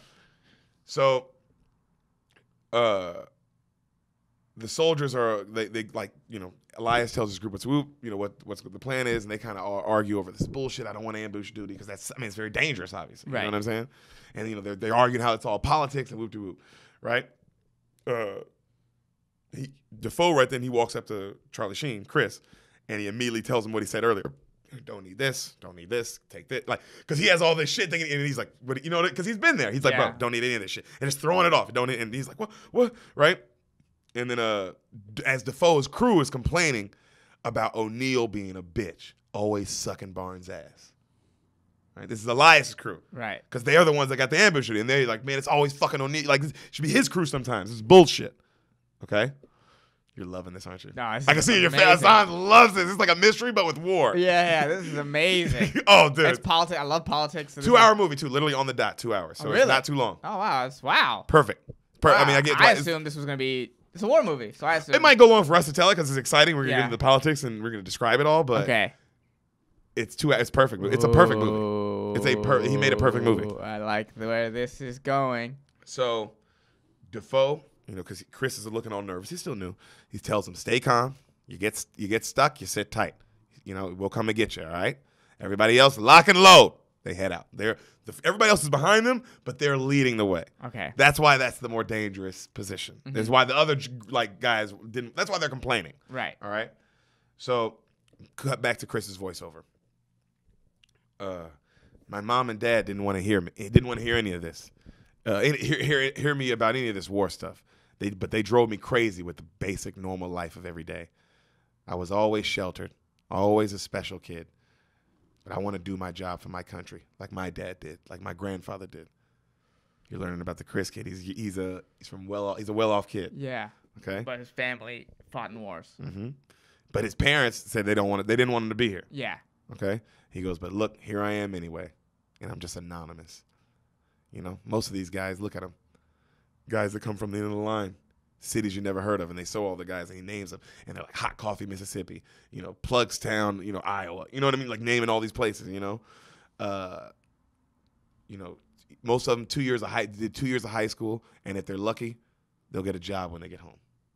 The ones who are lucky. I was gonna say, oof, that is This is not a good outlook for uh, all No. these people. This is the real bottom of the barrel, and they're the ones fighting for our freedom. That's why they I think that's why they're called grunts, maybe grandma, but they're the real heart and soul of this country. Beautiful. Beautiful writing, bro. Beautiful. Beautiful. You had to be there to write some shit like that. Yeah, yeah, yeah. To see that, and how, but also you had And uh, know- that feel it. perspective. To have that perspective, preach, Yeah. preach it, to son. Yeah, yeah. You, you to have that that perspective, you got to be sort of like a rich kid or like a well-off kid to be like, oh shit, like this is what the system truly is. Mm-hmm. Preach. So right then, a soldier comes and wakes him up. Mm-hmm. Hey, get up, Chris. It's your, it's your, uh, you're on watch guard. You fucking fall asleep either. And then he shows him how to use a claymore and set up. This is what you use. You need to throw it. All that shit. Cut back to the voiceover. Maybe here I'll finally learn something. I don't even know, but I miss you. Tell mom I miss her too. Chris. There's always to her grandma. His Right. grandma. Okay. So he wakes up. Like cut to you know he's on watch. Cut to he wakes up a black kid, this young black kid. All right, Junior, Junior, get up! It's your shift, man. Guy's like, what? He's like, it's your, get up, man! It's your shift. All right, I gotta get some sleep while I can. Still, it's your shift. You're on watch. Hands him the claymore. Right? Uh, uh, he like he and he's the, the the junior guy's like, all right, all right. Chris goes to sleep, and the junior guy's like, passes out. Okay. Cut to a little time goes by. Chris wakes up in a panic. He has bugs all over his face. He's like, "Ah, ah," you know. He looks around and his whole crew's passed out. He even sees Junior's passed out. He's like, huh. and he looks at his watch. He looks at the time. He's like, and then he still has a bunch. Of, he has like so many bugs on his face though that he's like, like, he, like you know what I mean? Like that's distracting him. So he's like, and he remembers what, what Dafoe did earlier. And you remember he put the cloth on his face. So he does that. He puts the cloth on his face. I'm like, and then he like kind of like wipes all the bug like that, like gets them off. And then he opens it and he kind of looks like far out into the distance and he's like, and then he closes it again, breathes, and then he hears something. He opens it and he's like, in the distance, something that would look like a branch, he can tell is like really a dude with a gun. Okay. You see what I'm saying? Okay. Yeah, yeah. And he's like, his eyes get big and you don't hear no sound. All you hear is his heart. He's like, and then you see the Vietnam guy like go like this, like, like to his, and then you see a bunch of them come out like, you know what I'm saying? Like now they're moving forward. Okay. Okay. You know, and it's like, and now he's sitting he looks at the rest of his team, they're all knocked out. And he, he- they, but they're getting really close, and he's like, you just hear that heart. He's like, you know, he starts breathing. And then right then, as they get super close, somebody else wakes up and spots them. And the shooting starts. And like, they start shooting back and forth. One of their guys gets hit. And they start yelling at him, throw the claymore! Yo, Chris, throw the claymore! Throw the claymore! And he's like, he's like panicking still, right? And then somebody else comes and grabs it. Fucking like Barnes or Dafoe come, and they fucking get it. You know, they throw, you know what I mean? Fucking he's hit, he's hit. And then right then, Chris, ah, I'm hit, I'm hit, I'm hit, I'm hit. And then another guy is screaming his lungs out. The guy who really got hit. Yeah. Ah, ah, ah, right? And then uh, they grab Chris. Dafoe grabs Chris and goes, relax. I mean, uh, Forest Whitaker, relax, relax. It's just a scratch. Relax. And Chris is like, no, I'm hit, I'm hit, I'm hit. You right there, you know? As Junior, he's yelling, "It's Chris's fault! It's Chris's fault! He fell asleep and he didn't fucking blow his claymore. It's his fault!" Like he starts putting it on him immediately, the junior Right. guy. Yeah, you know what. I'm saying? And then uh, right then, Barnes, you know the guy really who shot up a bunch, grabs the guy. That guy because he's screaming at the top of his lungs. Ah! ah! He goes, "Take the pain!" And the guy looks at him. "Mm, Shut up! Take the pain. And the guy's like, and he takes his hand off his mouth. And it's now it's quiet. Barrington, bro. I told you, bro. He, he had niggas like, woo. Ooh. So they walk up because the rest of the Vietnam guys ran away after Yeah. they blew the claymore. Yeah. They walk up on the one that's still alive. You know, like there's one like they fucking shoot him right. Forest Whitaker's telling Chris, like, hey, you're gonna be fine. It's just a scratch. Don't worry, don't worry. It's bad, but you're okay, right? Right. And Chris is like, no, I'm over. It's dead. I'm dead. It's all, you know, I'm all over. And then Forest was like, dude, shut up. You're fine. You're literally about to go get three meals a day and probably a blowjob from a nurse.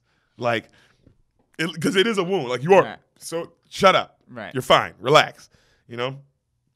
As Junior is yelling, it's his fault. It's his fault. It's his fault. And then Dafoe's like, shut up, Junior. Shut up. He gets quiet. And then the guy who you know the guy who was shot, he's now like. And they're like, Gardner, hang on. Gardner, God damn it, don't you? They're like, the bird is, the, the chopper's close. Come on. Gardner, don't you give up. And then you just see the life Like you know what I mean?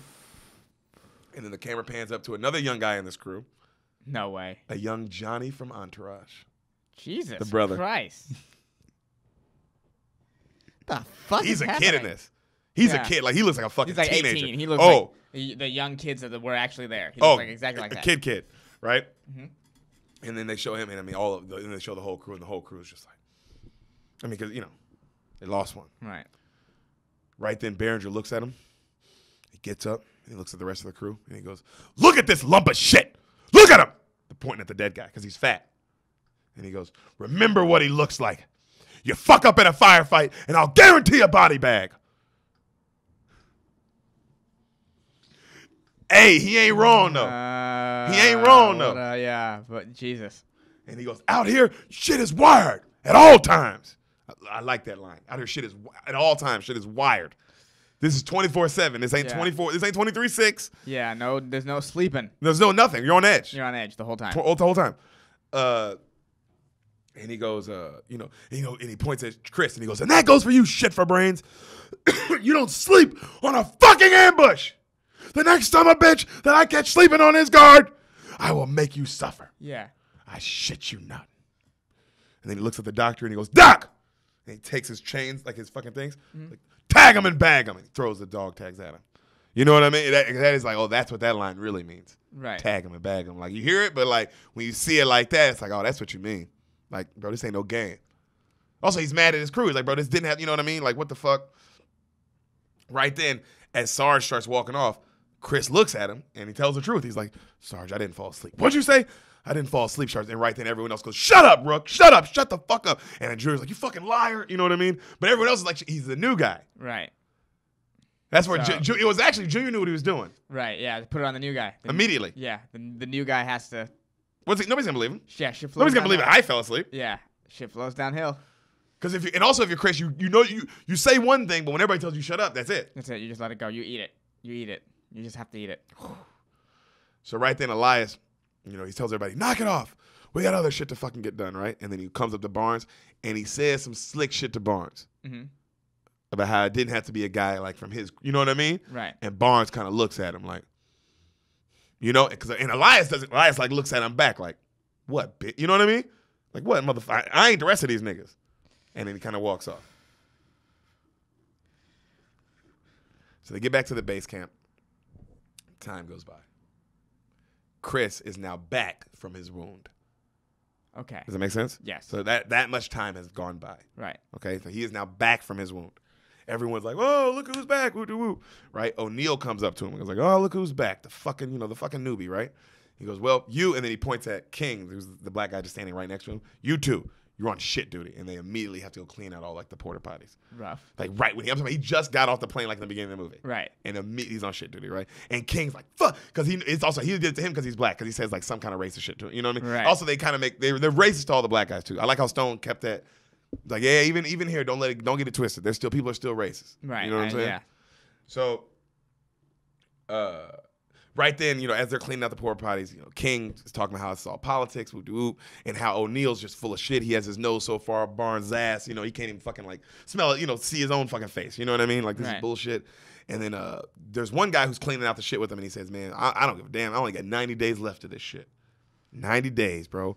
You know, and then I'm back home in California. Going, I can't wait to fucking surf, be on that beach. You know what I mean? And then Charlie Sheen goes, "Damn, 90. I got 332 days left." And the other guy goes, "Damn, I can't even remember back that far." Good lord. And then he tells him, he was like, "In the beginning, don't count this way." He said, don't, "He told him, he said, don't count that way. It's depressing. Count up." He said, see, he said, he said, he said, up until it was started, up until it's halfway, then count down. He said that way you don't get depressed.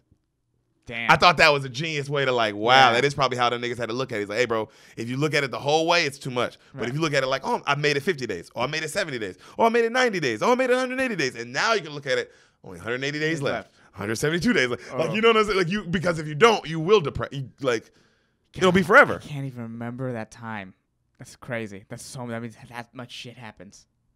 How many people have died and come back and died, Yeah. and new soldiers and came and died, and new, new sergeants, new lieutenants. Faces you see, and you're like, I don't need to remember his You've name. killed people. Yeah. Oh, you've killed people. You've seen like horrific deaths too. Like shit that people ain't supposed to see. Yeah. Human beings ain't supposed to see shit like that.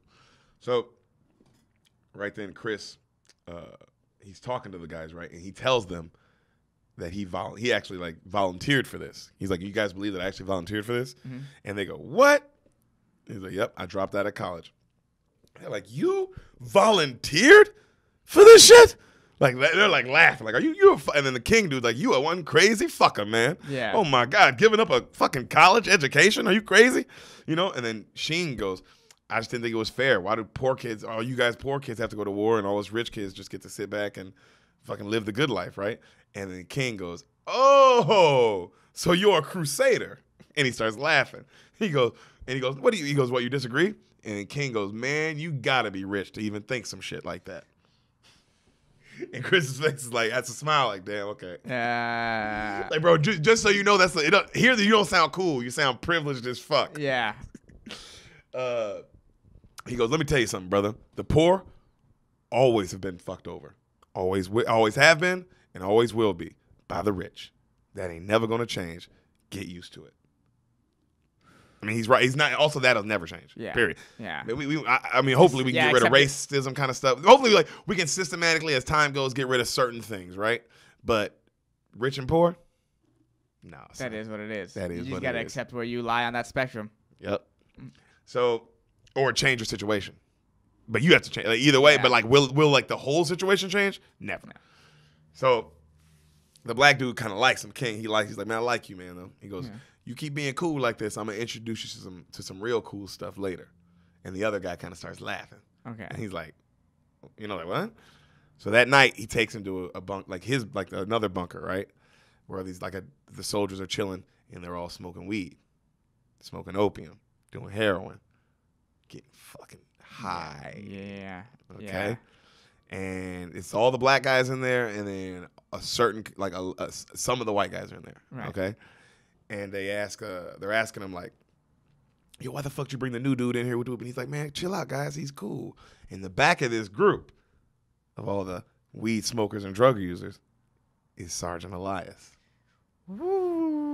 Ooh. He's one of them. Okay. Do you see there's a There's- split there's in this? Because yeah. right when Sam saw this, she was like, "Oh, this is interesting." Yeah. It's like, ooh, ooh, who is this? Uh, this Elias guy? Is you're right. He's mad interesting. Oh, dude, he's my he's my fa- he's my favorite. He's Yeah. by far my favorite. So, uh, you know, right there, they like they ask him, they go, "You a lame? You know, you a lame Taylor?" That's his last name, Chris. They go, "You a lame Taylor?" And they go, "Nah, I ain't no lame." And they hand him some weed, and he's like, and he starts coughing his ass, and they all start laughing, right? Yeah. And in this group is all black dudes and hippie dudes, hippie white dudes. Okay. They're all getting together. They got music playing. You know what I'm They're saying? having a it's good time. having a good time, but it's they're all hippies and black people. Do you see what I'm saying? Yes, I know exactly what you're saying. Okay. Yeah. It's a mindset. One of the guys in this crew has no lines yet in this movie. Has not had a line yet in this movie. A young child, Johnny Depp. Whoa. Whoa. Whoa. He's just it's fucking kind of extra. Yeah. Jeez, does he have any lines in the movie? Yeah, yeah, some. Okay. Okay. Whoa. But this is the first time you see him, and you're like, "That's Johnny yeah, Depp." yeah, yeah. Wow. Barely recognize him. You have to know he's in Anaconda because he Okay. he's a kid. Okay. He's a kid. Uh, so they're all getting high. They're all, I mean, they're getting high as shit. Right then, Elias walks up, and he has like this androgynous way about him. Right. You say he's just like he's just a cool, you know, hippie kind of cat, man. You know. Okay. And uh, he comes up and he goes, "You feel good?" What was that word? You read? Androgynous, androgynous. You know what I mean? The word like androgynous, when a guy's like like a David Bowie or a Prince kind of nigga. Okay. Yes. Yeah. I thought that's what you meant, but I had to hear. That's you his vibe, like the way he looks, Okay. the way all of them kind of look, because they all are just they. You can tell they're all into funk music and like whatever. This is also what's going on in America. In America, right? So this is uh. the big split in the actual America. yeah, yeah. And the kind of person, the kind of sergeant you can see Elias is to the kind of sergeant we'll get to. that Yeah. Barnes is, yeah. which you can already tell what kind of. Yeah. You already know. He's more hardline conservative. Mm-hmm. These are real people. Yep. So he uh he goes, you know, you feel good after he takes the weed from him, and Chris is like, yeah, my neck, no more pain in my neck even, and he goes, well, feeling good is good enough, brother. He laughs, and then he points this gun right in his face, Elias, and Chris is like, And he goes, Put your mouth on this. Chris is like, and then Elias goes, into the barrel. And then Chris goes, and then they all go, and because bro, they're getting high with opiate. Like they ain't just, they getting like, and you, they're like, they're zooted, Yeah.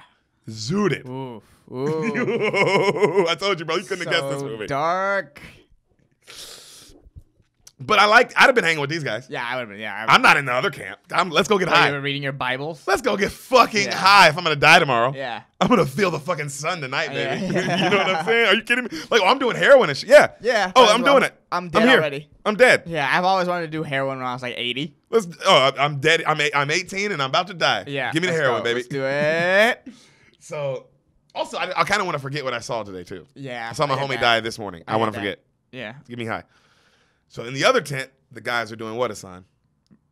Complaining about the guys. Oh, Getting the- high. Yes. Now, who's in this team? You got Junior over here. He's one of the black guys who's not in that crew. Okay. But he, the Johnny Depp, you know, not Johnny Depp, Johnny from Entourage, Mm-hmm. he's like complaining about how they get high, whoop de whoop. The Junior guy, even though he's not over there smoking with them, he's explaining to him why they're doing it. Right. Like, hey, man, you know, the black man has a free mind. That's why they're over there doing it. They're getting their minds free. It ain't, you know, they ain't really getting high. They're like, he's telling them the truth. It's like, dude, those motherfuckers over there are expanding their brains in ways that y'all don't even understand. Right. So don't just judge them like they're over there just zooting up. They're Right. not. You know? And then uh he's telling them maybe you guys maybe a lot of you guys need to try it. Because that, would- that y'all are the ones who need that. And the giant dude's like, man, hell no. I'm, I heard that the fucking gooks are the ones putting those chemicals in that grass they're smoking. It makes you passive, makes you not want to fight them and stuff. He believes it though. It wasn't like Yeah, he was I saying know, like a joke. I know, I know, I know, I know. That's like that's a that's a good that's good propaganda right there. If you don't. That's the reason I spoke. He's also he's, he's talking about weed. Yeah. And he's like, oh, it makes those guys more because that's because the other guys say things like, oh, we shouldn't be in this war. They, I mean, you hear them in their conversation, Right. And this guy, like, and it's like, oh, you guys can't stand that shit. Even though these guys are your brothers and they fight with you, you just don't like that their brains are in a different place. Yeah, their brains aren't like kill, kill, or No, like, their brains are fight, like, man, let me get out of this, though. Yeah, this is this crazy. wrong morally. What are we doing here? But I'm not gonna let my brother die in front of me. It's like Yeah. a, it's a weird. That's why I'm smoking weed. That's why I'm getting high because none of this is all. Bull- also, I've realized that this is all bullshit. yeah, that is the danger of smoking weed.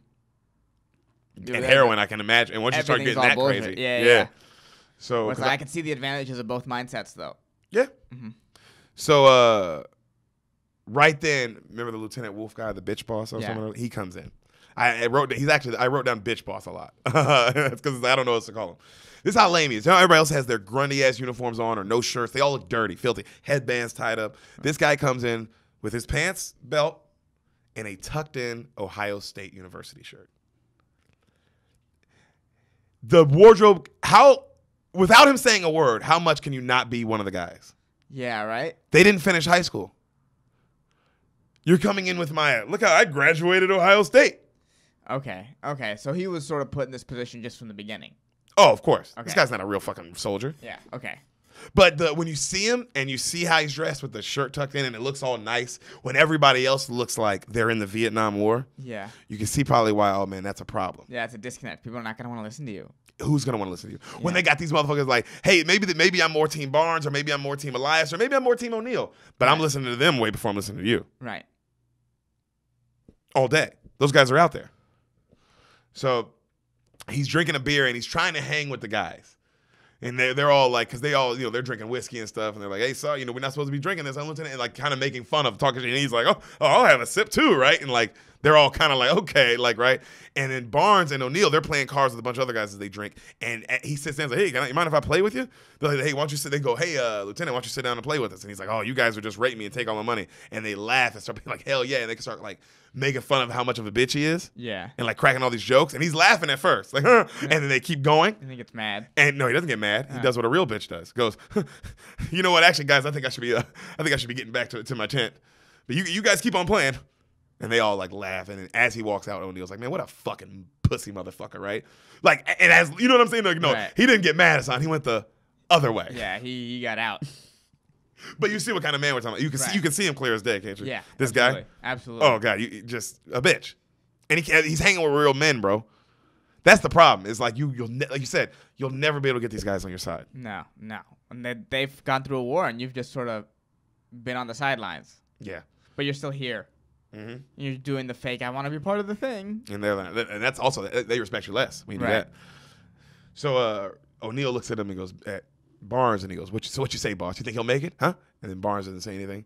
And then O'Neill, all Barnes does is kind of holds out, like holds his mouth out, and O'Neill lights his cigarette for him. Very subtle showing of like how much he's his number two. Because he doesn't even ask. He just kind of goes. He's not saying. He just goes, "Right, boss. He ain't gonna make it out here, right? He ain't got what it takes, huh? He ain't got what it takes, right, boss? There's no way, huh?" And Barnes just doesn't say anything as he just smokes, and O'Neill just keeps talking. Cut back to Elias' crew, who is now listening to classic Motown music. Okay. So they're all literally just dancing with each other and singing and smiling. All right. Voiceover. New Year's Day, 1968. But to us, just another day. Cut to, you know, because they're going through the jungle, Right. you know? Uh, lots of little fights lately. You know, we've not, not with each other, like against the enemy. We've dropped a lot of bombs. Firefights have been all over the place lately. On their walk, Barn notices of like a bunker, right? And he walks up on it and he, he clears it. And then they kind of look down and they find like clothes and a gun and like and some smoke. Like someone was just here, Just kind of shit. There. Yeah. All right. Foxhole. So they get quiet. They they call it into the big boss, like the the chopper, just you know, our position, just in case we just found something. Right. And they send Elias down to the bunker because he's like a Rambo. Right? Okay. he's that kind of nigga, like a Okay. Green Beret, all kind of, and he's like excited about it. He's a complete bro. This nigga, I told you, he's the most interesting character. He Right. is Matthew McConaughey in True Detective. okay. Just a lot of layers. A lot of la- like yeah, he's a drug layers. keeper, do it, but he's also the bad. He's the everyone knows he's the b- most badass guy there. Right. Even even uh, Barnes knows. Yeah. Okay? Okay. Like Barnes sends him down there. That's why Elias can talk shit. Oh yeah, because oh yeah. Yeah. But even though you guys disagree on everything idealistically, Right. everything, but you're both still sar- You're both still fucking leaders. You're sergeants. That's why all these guys respect Elias. That's why even the other guys respect Elias because they're like, oh man, he's a bad motherfucker. Yeah. you He's can't the, fuck guy, he's the guy who's gonna go down in a bunker and clear it out for us. Exactly. Not everybody can do that shit. Not even Barnes. Yeah, yeah, yeah. You know. So, but like you said, that is how uh, you said something a second ago, and it really made sense. Like, oh, wow, how do you get those two mindsets to work together? Because you need them both. Right. You do need them both. You can't. You can't have one without the other. Mm-hmm. Yin and yang. They're very separate, but very You need them. necessary. uh, so that I mean, such a tight crawl space, bro. But he's going down there, right? They send Chris and another black guy to go do like a watch, like a watch in a different post. So Chris is over here and over here, and they're kind of just keeping watch, making sure, right? Nothing Yeah. comes up. Uh, in another spot, these guys see that there's like a teapot still boiling, and one guy's like, "Yo, they were just here. This is spooky. I don't fucking like this shit." Because it's just still boiling. Right. And they're like, yo, Okay. what the So they're aroused. Oh, I mean, yeah, it's it's close. They're like, oh shit. Uh, you see a cut to Elias in the bunker, and he's now like gotten through, and he sees like they like th- where their doctor station was, and he sees a couple dead Vietnam guys that like them trying to work on him, but they didn't, they couldn't save him. So he's still going through. Chris, right then, he looks down and he sees in between his legs a gigantic snake, and he goes. Because it's like crawling around his legs, but not like bothering him yet. But he's just like, but it is like a holy shit, don't panic kind yeah, of I, snake. for, I also it's like, oh fuck, you have to fight that as well. I'm in the jungle. I forgot. yeah. Oh. Also, I can't fuck. scream because I can't make a note. Like that's why he's like. That's why I have to mention because it's like, oh shit, you know. And Elias comes up. You see him like coming out of the like out of the bunker, and he looks up into another spot. And right as he comes up, a, a v, like a Chinese guy start, takes off running, and he one shot, boom, fucking catches him. Right. Right? It's like, oh, that's why they sent that nigga down there. You know what I mean? Uh, and then Also, you can say Vietnamese. You don't have to say Chinese. no Vietnamese. I meant to. Yeah, I, yeah. It, it just it's you know a lot of things are gonna come out that aren't the right thing. Yeah, that's fair. I'm sure I'll say Korean at some point. yeah, well. but you know, it's I'm I'm fairly certain that this was a Vietnamese guy. If I had to Eh, guess, He was Asian, so who knows? In the one spot, what kind of Chinese are you? are you? Let's not get into that. Okay. Yeah, yeah, yeah. In the one spot, remember where the tea was? Mm-hmm. A guy is still going through all the stuff, and then he lifts up this one like little box and trick bomb. Right, bomb goes off, blows his arms completely off, oh, and he comes out and he's like, and he falls, you know, arms blown off. Right. right. Elias comes back out the hole and he tells the Lieutenant Wolfe guy, like, hey, this place is rolling with traps, whoop de whoop. Uh, we have to move, we have to move now. You know, uh I, you leave uh like leave your like give like leave four of your they, they tell like Elias, like, hey, leave four of your men here to keep watch. But uh, as we go looking for like other guys, like if they're close by, you can kill them, what's Right. going on, right? So right then Chris walks up on Barnes who's smoking, and he just looks distraught and they lock eyes. And Barnes like immediately like just kind of like it's the first time you ever seen like the only time in the movie you see him kind of like Like this sucks. Like, this is so much, Right. you know. And he just kind of like goes away again. So they go off and they're looking for because they the reason they're looking for anybody uh, and they're like panicking is because when the bomb went off they did a count and they can't find the other black guy who they sent on watch. Oh. So that's why they're panicking. That's, I forgot to mention that. Okay. okay. So oh fucking they shit. can't find him. They can't find him. They finally do. Somebody goes, "We found him. We found him," and then you hear the voiceover. Yeah, we did find him. We found uh, Manny about. We found Manny down the river about a thousand yards. The end of the mystery, I guess you could say. And they see his body, and he's like tied up and like tortured and shit, completely fucked up. Jesus. And then Barnes is looking at it, and he's just like, "Those motherfuckers!" And he walks off. Jesus Christ. Cut to the next day. Voiceover. The village we came upon the next day, he names the it has some create like some Cambo- like the Guangdong village or some shit. Mhm. Had stood there before we got there that day a thousand years. Did you hear what I just said? I know. Oh, and I know what they're about to do to it. They never knew where we were coming. But at that time, Barnes was our leader, our Ahab. That day when he led us, we still loved him. All right. Voiceover's over. This movie's fucking so good, dude. Just that, bro. Y'all, are y'all with me on this, bro? This movie is so fucking Damn, good, nigga. That's so sad, dude. That's so sad. There just ain't no winners. I love I love that he's like, I ain't even gonna give you the mystery. I'm gonna let you know what's gonna happen before the scene happens. Yeah. Oh fuck. And it's still gonna be the best scene in the movie. You know what I mean? yeah. But I'm gonna let you know before. Yeah. Oh. That's fuck. cocky writing almost. Oh fuck. So, uh, we see uh Barnes like he. We see one of their like soldiers running in the distance as they come up on this village, and he's still pissed from yesterday. He fucking bam kills one right as they're walking into the village. Johnny from Entourage just walks up on a pig, poof, shoots it in the head. Like and all the other soldiers, they're all starting to get a little. They're fe- they're feeling Barnes. Yeah. they're feeling that energy of him Right. of like I'm mad. Right. All right. So all the soldiers start going through the village's stuff, rounding up all the villagers. You know what I mean? And they're looking for hidden soldiers. Mm-hmm. They're like they think the soldiers are hiding, like the, the ones from the camp. They think they're hiding in this in this town in this village. Yeah. All right. And they find a hidden bunker and they go through it, but the only thing that's in it is like a mom and like a grandma, like a, da- a daughter, a mom, and a grandma. All right. Okay. And they're all screaming. They're screaming. They're screaming. And then Barnes throws a grenade down there anyway, and the ri- the women are screaming uncontrollably, like ah, and they're just talking in their language. They're screaming. They're screaming. Right. Chris finds or Charlie Sheen he finds another hidden like little bunker. And he's like, "Get out, motherfucker! Get out! Get out right now!" And he's got his gun on the guy because he sees like a little kid's kind of face smiling. He's like, "Get out! You get out, you motherfucker! Get out!" And then somebody else goes, "Cool, man, be cool. They're scared." He goes, "They're scared. They're scared. I'm fucking scared. So am I. Get out, you motherfucker!" And they pull him out, and it's like a kid. He's got one leg, and he kind of looks retarded, and he's with his grandma. Okay. Right? They were hiding. Okay. So, cut back to they start burning some of this village. They're burning some of them. Cut back to Chris. He's yelling at the guy he pulled out. He's like, why'd you just get out? Why did you just answer me when I said get out? Huh? And he starts breaking down. Charlie Sheen's like, why? And he hits him. Why? Huh? You stupid fucking asshole. You stupid motherfucker. And the guy, you can tell he's retarded because he's still like, like he's just smiling. He doesn't, Right. you know? he doesn't know what's happening. Yeah. And and then Johnny Johnny's like, kill him. Do him. Come on, Chris, do him. And he starts shooting at his feet. Huh? Come on, don't you dance, motherfucker? Dance, dance. Charlie Sheen's just like, dance. Huh? You dance, you one-legged motherfucker. You one-legged motherfucker. Ah! Ah! Ah! And he starts just crying. Oh, God. Oh, right? Johnny goes, you fucking pussy. He's laughing at you. He pushes him aside. Right? And then O'Neill walks in. He goes, Boys, forget it. Let's go. Let's go.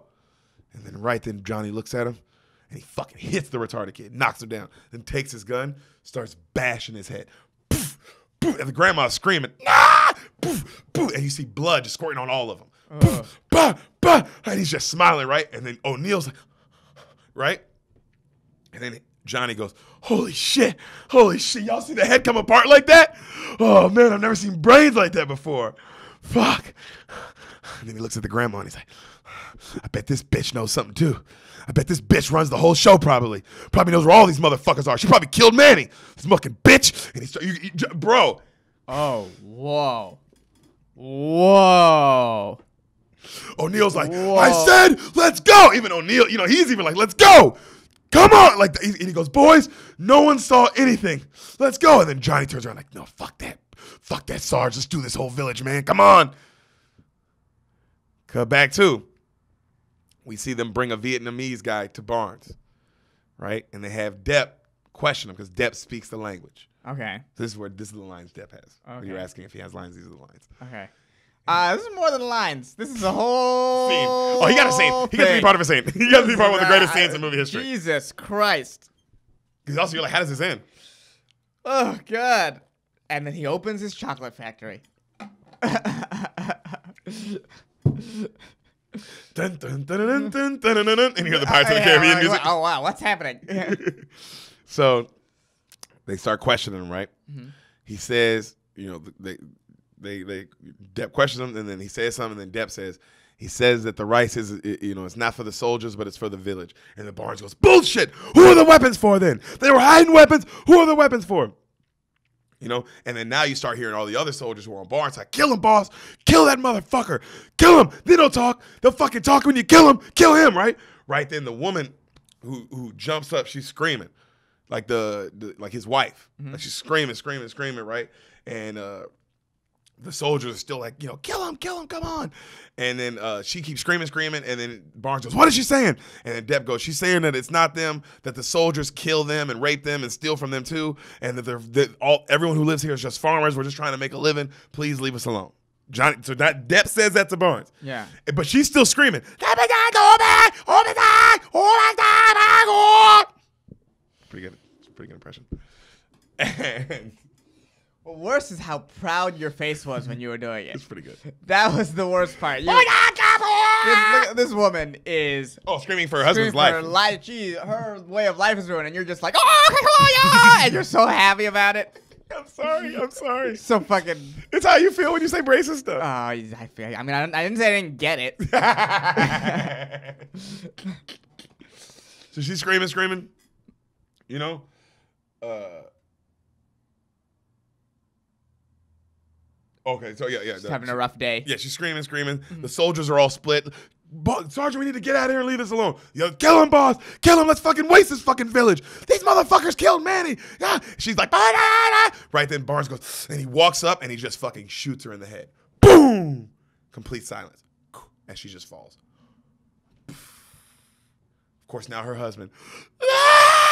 You know, Yeah. all the villagers, yeah, because now they're getting up like, what the, oh, you know, like, oh, are they about to just start shooting us in the fucking head? Yeah. You know what I mean?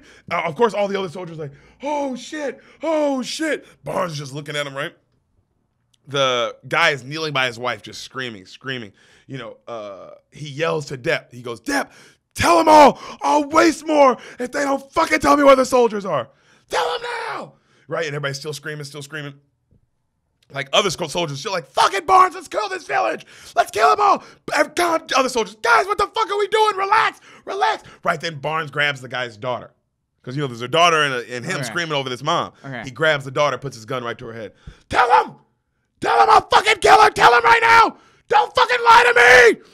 Right? And the guy's like, ah, ah, ah, ah, like just screaming. Like, and he, Depp's, he's like, he's saying he doesn't know. Depp's like, honestly, he's saying he doesn't know. He's saying he doesn't know. Because you remember, Depp's one of the drug guys. Yeah. He's saying he doesn't know. Right then, you hear, Barnes!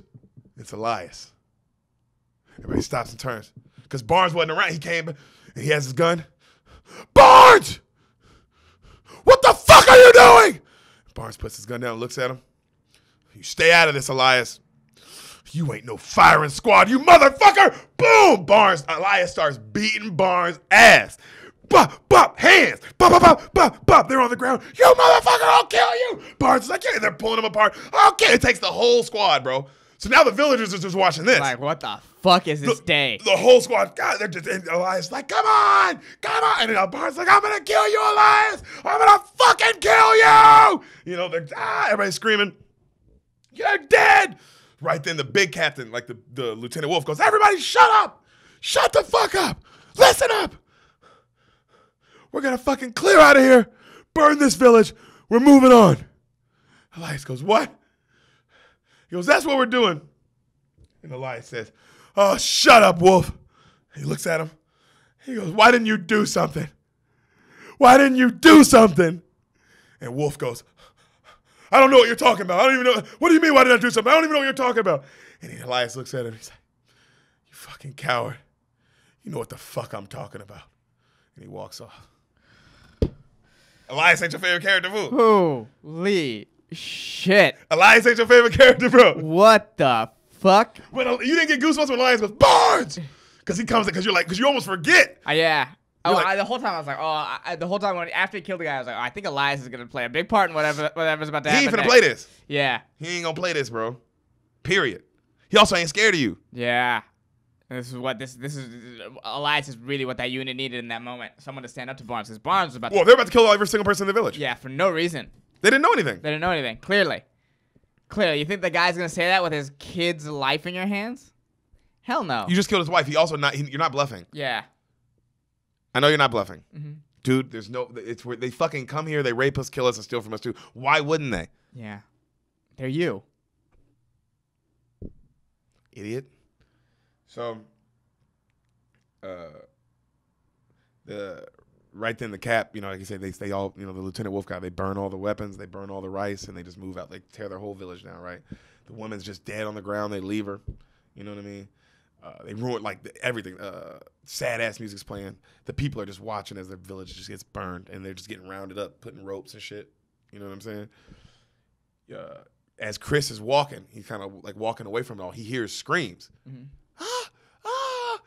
And he kind of speeds up. Ah, ah, ah. And then he comes up, and the men are just raping this woman. Just raping the shit out of her. It's Johnny. It's Junior. It's another guy that you wouldn't. That was like one of the guys who smoked weed too. Yeah. You know what I mean? Uh, and then another guy. Like three of them are watching as one's just raping him, and she's screaming as they're and they're holding the daughter. Like this other girl is clearly her daughter. Like oh, she's gonna be like she's clearly gonna be next. Like because they're just holding her there, and she's just watching her mom get raped, right? And then he goes, fucking Chris goes, hey, hey, and he fucking knocks the dude off. She's a fucking human being. She's a fucking human being. And they're like, oh, you fucking homo. And he's putting, is he fucking homo? And Johnny's like, oh man, what the fuck's wrong with you? He's like, you fucking animals. You're fucking animals. And he's like, and they're like, oh, this place ain't for you, bitch. You ain't this place is Vietnam ain't meant for you, you fucking pussy. And he just like walks off and she's like, you guys just don't get it. And right then Elias walks up and he's like, hey, get the fuck up and get out of there now. And they all go. They, like they all go, and then they fucking scatter, and then you hear one guy go, "Oh, boys, easy up, ease up your dicks, let's get out of here, right?" Like, Yeah. like all right, Elias said it. Yeah. Yeah. yeah. Damn. It's one of the most powerful fool-on scenes from there to there that I've ever seen. Heavy. So ridiculously heavy. So as they leave, it's all burning behind them. You see all the Chinese people kind of in ropes Vietnamese. walking, Vietnamese people in ropes walking, and as some of the kids are just being carried by the soldiers, the visual is insane. Also, it looks so real. Does it make sense? I feel you. It's like you had to almost. I was like, oh, this nigga saw this, because the the idea of like, oh, wh- who would think to be like, oh no, the sol- the ca- the soldiers are carrying the kids. Right. Who would think that? They're carrying them like on the thing like this. Some of them, you know what I mean, like this on their shoulders, like you know what I mean, like this. Just carrying them. Why are they taking him? So they get back to the big base camp, Okay. and Elias is telling the big boss, like the, the head captain, you know what I mean, uh, at the base camp, right? That uh, you know, he tells him everything that happened. Barnes is standing right there, and they're both, you know, like, you know, I'm gonna file a file a full report. Uh, this guy is a fucking criminal, and then Barnes goes, I didn't do anything. He's a goddamn liar, captain, and I and I promise that I have people that'll vouch for my story too. And he, he tells both of them, shut up, shut up right now. You two, you two will cease fire on each other. I will not have this in my camp. But he looks at, it, he goes, Barnes. I will do a full investigation. And if I find out there was any illegal killing going on, you will be prosecuted and you will serve, serve life in prison when you return to the States. Do you understand? Yes, sir. But until then, we still got fucking jobs to do here. Because they do. It's like we still got shit to do Yeah. here, shit to accomplish. Yeah. All right? Focus on the mission. You two will back off of each other. Is that a fucking order? And then they're both like, yes, sir. And they walk off. You know what I mean? So, Something tells me they're not gonna back off. whew, how could they, man? That Yeah. was real. Yeah. uh, so the guys are all the black guys are all talking together. Mhm. You know what I mean? Uh, one of the black guys you also recognize too. Uh, he, he's been in a million movies as well. I think he was in Chucky. I think he was the black guy in Chucky. Remember there was a black guy in Chucky who was Chucky's partner, and he goes in and kills him. Yes. Pretty sure it's that actor. Okay. All right, so he's one of the extras. as. So it's him, Uh-huh. Forest Whitaker, the King guy, the Jiggy. They're all talking, and uh, one guy, you know, that one guy thinks Elias is right, one guy thinks Barnes is right. One, you know, like hey, Barnes has gotten through all. You know, I, he's like I've been under Barnes for a long time. That dude's gotten me through some shit. Right. I listened to him, and, and it wasn't like oh he's a mon- it was like on that kind of way of like man hey let me like I know hey Bar- he, like, hey I know because the guy said I know you might be a monster sometimes but that guy will get us through. I promise. Like you got to stick with him. But if you've got if he's gotten you through like five or six times, you would believe that. Yeah, I mean, I, I would feel confident on either of these guys. Or not confident. I'd feel like I'd be like, okay. no, if you're under leadership. Barnes, you don't. I mean, yeah, it's scary and it sucks and all this shit, but you're like, man, this nigga will get me through. I He's not like- gonna leave me behind. You know what I mean? Like Like, Elias is the same way. Elias is the exact same way. Yeah. Oh, I, I feel this. I'm just saying. I just meant like, because a Barnes, you like more be like, oh my god, it's way more of a totalitarian. Whereas a guy like Elias, like, oh, this guy doesn't even give a shit. yeah. So I, they, the, I get why the feelings, Mm-hmm. but yeah, I'm definitely on the team Elias. Yeah, I'm on Team Elias. no question. Yeah. yeah. Uh, and then they asked Forest Whitaker what he thinks, and he goes, "Man, I'm just hurting real bad inside, y'all." And he puts his head down. Very. Also, you see, is like that one line, like, "Oh, this guy can act." Like whoever saw Forest Whitaker do that line was like, we gotta put "Oh, up this guy's stuff. This yeah. guy's got. Oh, he's got something. Yeah. Whoever this kid is, he's got some chops." So Barnes tells the bitch boss Mm-hmm. how Elias is a fucking politician. He shouldn't be here. He's a fucking water washing Democrat. You know what I mean? All this shit. He's you know he's a bitch, uh, right? And then O'Neill, of course, is on his side, and Johnny's on his side. Right. You know they're both like, yeah, fucking yeah. Uh, Elias is he's a rat. We should frag that motherfucker. They even say that shit. Fuck him. He's a, he's, he's ratting on you. Also, he's a rat, which is I mean obviously that would cause that would be the biggest problem. Yeah, I did think like, why is Elias doing this? Why is Elias going to the big boss? Elias is done with it all, Mm, and Elias isn't scared of him. that's a good point. This is a. I think. I, I think Elias is done with him. Just from the the way he was yelling at him and the way he was like, "Bro, I'm so done with your shit. I'm so sick of your shit." Also, you gotta remember Elias's dude died in the beginning of the movie. Remember, like, Oh, yeah. like there, there, it goes deep. It's like, man, you keep putting us on the front because you want me to take the lead, and I'm cool with that. But my men keep dying, and it's never fair. It's a lot of shit going on, man. Right. You have this guy sucking up to you all the time. Yeah, and, and he's the other sergeant, so it's always two on one. Right. Every vote's two on one. Right. Like, no, if you throw in all those other factors, yeah, man, he might be like, man, I'm done with this fucking. And I just saw him kill an innocent woman. We almost killed off. We burned down a whole village for no fucking reason. I'm sick of this shit. Creating your I'm- own enemies, creating more enemies for ourselves. Yeah, Yeah. but on to play to your, you are right. Maybe not the time to do it. Yeah. You know what I mean? It's You are dealing with a dictator-like mentality tattling is also a no-win situation almost always. until it's time. Yeah. You tattle when you get back. Like the the moment y'all get back to base, like base camp for real, and y'all aren't still in the actual thing. Right. Oh, oh, bro, you're going to prison. I didn't forget. Yeah. You're going yeah. to fucking prison, dude. You know? So uh O'Neill goes, Barnes, uh, he goes, You think there's gonna be an investigation when you get home? You know, uh Sarge to Barnes, this is O'Neill. He's like, You think there's gonna be an investigation? You really think they're gonna take you in? And then Barnes looks at him and he he doesn't say anything, but he kind of looks like like he's questioned, like he doesn't know either. Mm-hmm. All right. So that night, Chris and Elias are hanging out and they're talking. And Elias is looking up. And Elias is telling him, Man, I love the stars. He's like, Why? Elias is like, Ah, no right or no wrong. They're just there. I love it. And he goes, Man, Barnes really has it in for you, Elias. And he goes, Ah, Barnes just believes in what he's doing. That's all. And he goes, Do you? Do you believe in what you're doing? Elias thinks. And he goes, Yeah, in 65. But now, no. Jesus, 68. Oof. That's also because Elias has been Barnes before. Mm. See, the, that's what I got from that. Like, I, I've been him. I like yeah, I believe the cause. I believe the cause, and I believe this shit, and I and I would have probably shot that villager in the head too. And now he's like, oh, this is all crap. And he goes, he looks at him. He goes, "What happened today, kid? It's just the beginning. We're gonna lose this war." And then Sheen goes, "What? No, not us. We're gonna think we're gonna lose." Kid, we kicked ass for so long. It's about time we got ours kicked, don't you think? We lost this war, guys. I don't know if you know. Yeah, like I said, this is why I don't know much about it. You stay off it. Uh, people love the third Harry Potter book. It's one of my least favorites. Which one? You gotta tell me. The Prisoner of Azkaban. That's the best movie. You know why? Because that's the first time Harry Potter loses a Quidditch match, and that affected old nine-year-old me so hard. Wow. That affected nine-year-old me so hard. Would you agree that that is one of the better, if not the best movie? It's a great movie. I mean, the book, the the story is actually amazing. I mean, that's when they It's- bring in Sirius Black. It's one of the better books too. That's when they bring in Sirius Black, right? Yeah, yeah. That's why I love Black. that book. That's why he's one of my favorite characters. Sirius Black, and then they have a Hermione has the time turner. Oh, that's thing. the best movie. Fuck that. What are you talking Yeah, about? That's the best yeah, movie. That is yeah. by far the best movie. I didn't know if that was the same one. Yeah. That's the best movie, dog. Hell yeah. Right, The werewolves in that movie. Yeah, yeah. The the the the beak. Oh my god, what was his name? Buckbeak. The, he was a hippogriff. Yes. Yeah, yeah, yeah. Yes. And the Dementors. God, they did the Dementors well. That was the best. How did you not like? Oh, I never mind. You just Yeah, I just said I just said it out loud. Oh, my bad. I'm sorry. Yeah, that's how we got here. we just literally said like five things about how it was the best one, Yeah. and it was like, wait a minute, how did we get here in the first place? okay. But you didn't. Did you like? Is it a good book though? Yeah. Like actually. yeah, no, I mean the I, the whole story is great. It's Uh, Harry Potter, you know. That is true.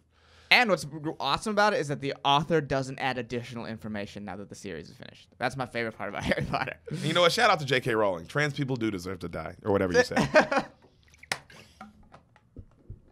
Whatever it was you said, I backed it. yeah.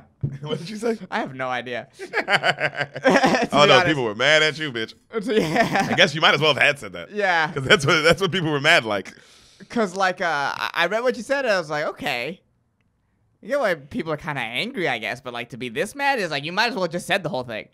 Yeah. Yeah, if they're if they're persecuting you like you did the it's that there's we had a friend Anthony Robert and he had a joke about how like if you ever got if the people who got caught on to catch a predator why aren't they like hey man if I'm gonna do the time let me do the crime Come on, baby. Just the, just the tip of the crime. just the tip of the crime. But yeah, that's how I feel about J.K. It's like damn you should have just gone all the way if you're gonna do the time. Yeah, you because should have she done said some shit like how like uh, she thinks men are men and women are women, and people were like, "Bitch, don't you ever say that shit. Don't you ever be famous and have an opinion like that." Uh, which I don't agree with. I don't agree with them canceling J.K. Rowling because she thinks men should be men and women should be women. Now, I do agree that J.K. Rowling should be canceled for saying Dumbledore is gay. but you said Dumbledore's gay? Cancel her. Yeah. Yeah, you know, it's like, just why are you adding more information post story? Why are you doing this? Why there's, you know, we've already taken the story for what it is, and then you find out, oh, Severus, Severus Snape was actually a baboon the whole time, and you're like, what? why? That'd be like him. That'd be like uh, them coming out, uh, Oliver Stone right now, and being like, also Willem Dafoe beat dogs before he got into the war, Yeah, like, and it'd be like, well, well look, I, I okay, like I, I know you, I, I know you said that made me think I wouldn't feel different, but I feel different. yeah, it's like I, I don't Yeah. know what. No, I just it I- had nothing to do with anything. Yeah, that's the thing. It's like I never, I never ever once thought about Dumbledore, Dumbledore's sexuality, and now it's like, oh, I think about that when I think about Dumbledore. And you know what else I think? Every time I think he's not gay. That's what I think because as much as you say he's gay, I can say he's not because you said it after the fact. That's how that works. yeah. you know, you published the book and then you decided to be like, oh, he's gay. Well, nope, I think he's a dinosaur. That's how I read it. He's a dinosaur. So how can he be gay? He's a he's a lizard. you fucking idiot. That's how you sound. Like, why would you do that? yeah, just let people because you know what? There's a, probably a bunch of people who read that. It's like, oh, this guy might be gay, and Yeah. you just let them have it. And other people read it like, man, Dumbledore gets mad pussy. Yeah. Let him have that. Yeah, Who gives a shit? If you want him to be gay, fucking say it. Yeah. During the story. Yeah. Say, oh, happen. by the way, after Dumbledore did this thing with Harry, he went and got gang banged by two black guys. oh, okay. oh, wow, and he okay. enjoyed it. Awesome. I'm not mad at him. Yeah, good for him. hmm But I'm not letting him have it now. Yeah. But then again, you shouldn't be canceled, you know, for thinking women are women and men are men. That's also a thing. You got, you know, guys, there's always two things. Always remember that. I think the the overall thing right now is that if you are a celebrity, just don't say anything. Ever. Yeah, this is that's done. That's done. You won. You became celebrity. Congratulations. Here's your money. Eh, just shut up. just shut up. Cause look, look. Should you be should you be cruel? Cause thi- thi- this was J.K.'s overall opinion. It was I think men are men, women are women, but I still stand for trans people. Because I'm a fag. Yeah, sure. She's gay. Is she? Yeah. I didn't know that. I thought she was. Maybe I made that up. Yeah. But you know what? Stand for facts. I stand for them too. Yeah. Either way, she said men are men, women are women. That's what I believe, but I'm with trans people. I am on your side. I'm on your team. And it's like, sure. That is your opinion. Right now, why the fuck did the world need that opinion? That's not A, that's not even the that's not really what we're talking about. And B, why? Just why? It's like a why? Drew Brees thing. Yeah, It's why? just like, hey, bro, no one cared. No Yeah. one, you didn't have, you were literally doing an interview for Yahoo Finance. Could have said next question. You could have said anything. it just it just it just didn't make sense for her to just tweet that. Yeah. Anyway, Back to the voiceover. okay. Day by day, the struggle for my sanity continues. I don't know what's right and wrong anymore. There's a civil war going on between the platoon. Half with Elias, half with Barnes. We're fighting each other when we should be fighting them. Hope things are well back home. Chris. So Don't you love the is- voiceover with the letter? Yeah, this is Great writing. This is devolving. The situation is devolving fast. So the big bitch boss says, All right, guys, move out. hmm They're moving out. One guy, the black junior guy, he's about to drink some water, and they go, "Hey, don't drink that. You'll get malaria." And he's like, "Psh, "I hope so." you know what I mean? Uh, right then, someone gets shot. They get ambushed. Full on firefight. And they're like, "Oh shit! They were waiting for us. They fuck." And then right, Barnes is just walking, even though there's a full fire. He's just still walking through it.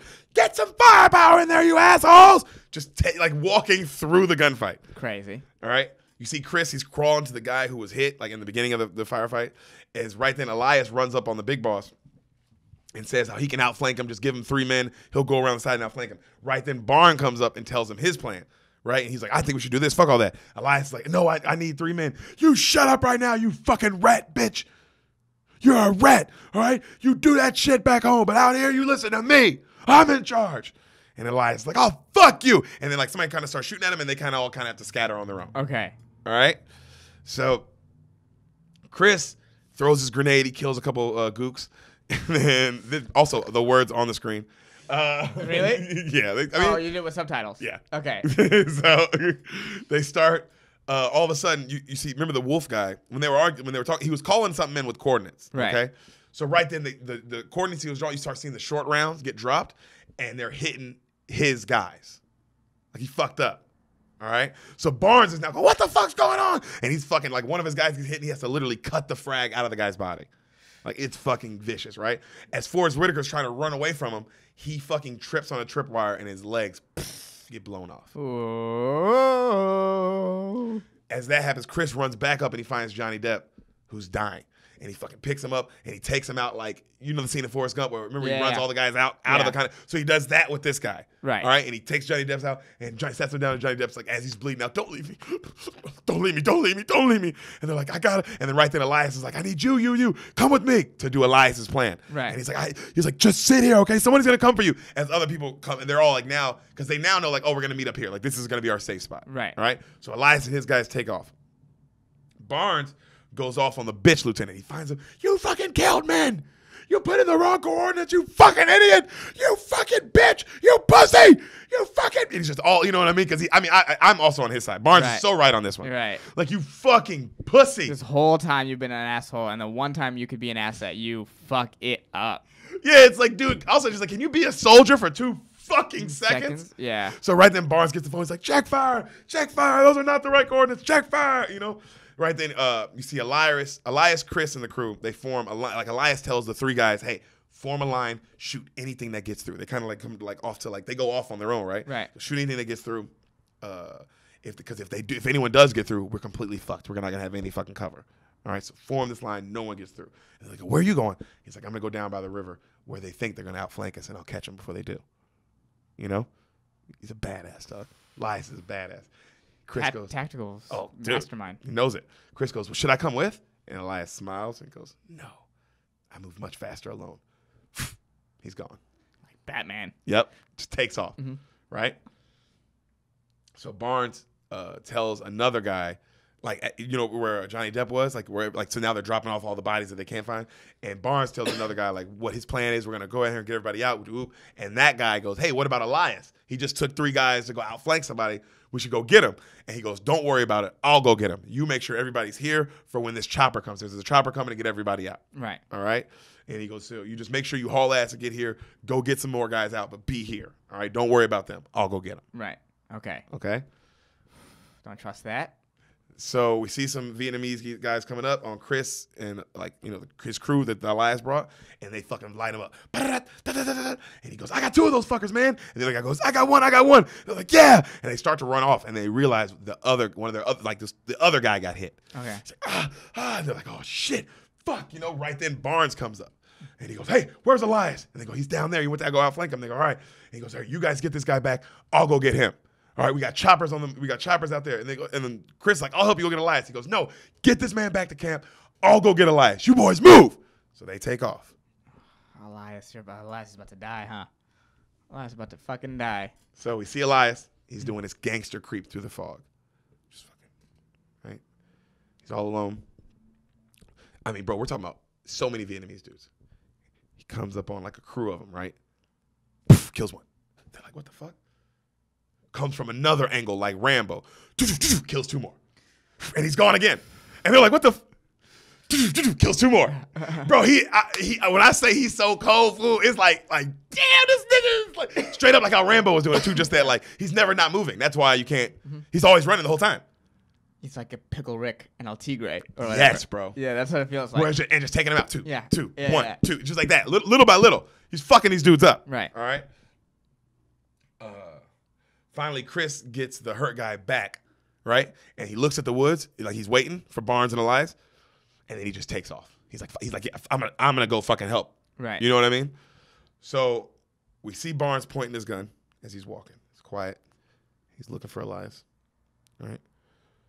Finally, you see something out of the bushes creep out, and it's Elias. Mhm. And he starts walking forward, and they see each other. Because, you know, Barnes is like this, he's looking for, and Elias sees him, and he goes, smiles, like that big smile that we see in the whole movie, right? Big smile. And it's quiet. And Barnes' gun doesn't drop. And then it goes back to Elias, and his eyes are like, pop, pop, pop! Shoots him three times. Elias goes down. I went, well, now I hate Barnes. now I hate Barnes. I went to being like, I get Barnes and I like him. I would be on his team, but I like him. And now I hate this guy. Or you're like, fuck this dude. Fuck this dude. Fuck this dude. I hope Chris saw the whole thing. So right then, as Barnes is walking out, Chris comes up and he goes, "Hey, hey, wh- where's Elias? Elias is dead. Let's go." What? He's dead? What? Fall back. He's go. Let's go. What? He- come on. Wh- where is he? He's about ten meters back. But I said, "Let's go." But you saw him. He's dead. He's dead. There are gooks everywhere. Move! And he grabs him and like throws him. And like now he's like, because you know Chris is, you know, it's Barnes still. And he's still, you know, he's like, what? So now they're moving. They get on the chopper. Right? They're getting everyone out, and they're getting all the dead bodies they can get on it too. Chopper goes up. They start leaving. Chris looks down. Like they're already in the air, and he looks down. He sees some. He, he, like you don't see what he sees. He just look. He goes, "It's Elias!" Barnes leans over and like looks down. He's like, "You see fucking full speed with a hundred fucking Asian dudes, a hundred gooks after him. Our boy Elias, nigga, slow motion, taking bullets." You remember the scene from Tropic Thunder? Yeah. It's making fun of that scene, but this is, Oh, I mean, yeah. this is one of the This most classic. This is like one of the most classic movie scenes of all time. Okay, Because okay. the the last image is like the most one of the most famous images in movie history. So he's running, poof, poof, gets hit, he falls, crawls, gets up, poof, starts running again, but just getting hit, bro. But he keep this nigga maybe takes 15. Like I mean, just like oh wow, this is what it take to kill this guy. Yeah. Straight up, this is one. It's a soldier, yeah. And this guy is Captain Soldier. Captain Soldier. Yeah. fucking running, just getting hit, getting hit. Oh, Elias, right? They're trying to get it, but there's no way the chopper's gonna get to him. Right? He's just taking taking bullets, and then he starts crawling, and he finally raises his hands up, and this is like one of the most famous shots in movies history. You've probably seen it. He's looking up like this, and then he gets hit like like that, like from the back, like that, like, and then he just falls in slow motion. This is all in slow motion. That, but that that this like where he's getting hit like this and his hands are up. Yeah. it's one of the most famous shots in movie history Okay. you know. Uh, so he falls, like it's on the cover of a lot of, you know, it's like one of the, it's a crazy shot. Mhm. So Chris, right then, he looks up, and he makes eye contact with Barnes, and now him and Barnes are just staring at each other. Great shot. You know, they're just just Yeah. locked eyes because they both know. They both know. All right. So they get back to the base, and Chris is telling the other guys, Elias's homies in their bunker, Yeah. man, he fucking killed him. Barnes killed him. They're like, oh, you ain't got no proof, man. I don't need no proof. he fucking killed him. I know he did. You know what I mean?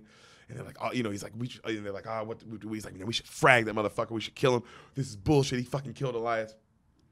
And he goes, man, if you if you bring that shit to anybody else or you bring that to Barnes, he's just gonna shove it back up your ass, right? He goes, it's over for Elias. He left. He's in heaven now, and hopefully he's up there high as shit and drunk as fuck and dancing his ass off. He left all his pain down here. It's over. Let it go.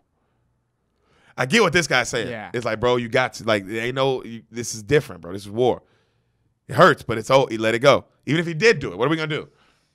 You know what I'm saying? It's like one of Yeah. those situations. It's like, no, no, fuck that. Barnes is a murderer.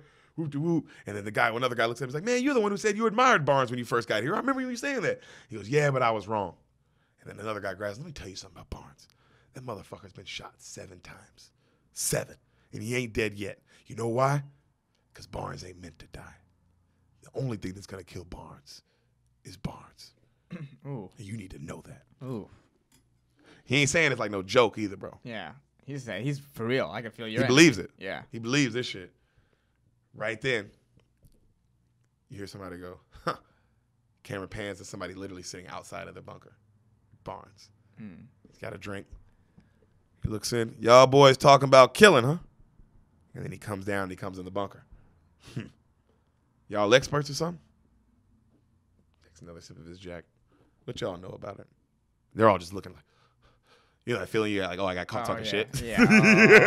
you know that, hey, all our listeners, you know that feeling when you get caught talking shit and you're like, oh fuck. Yeah. and there's nothing you can't lie and be like, oh, bro, you misheard me. Like, Yeah, yeah, it's like, no, he was, to, he was, uh, he was right that there. Shit, homie.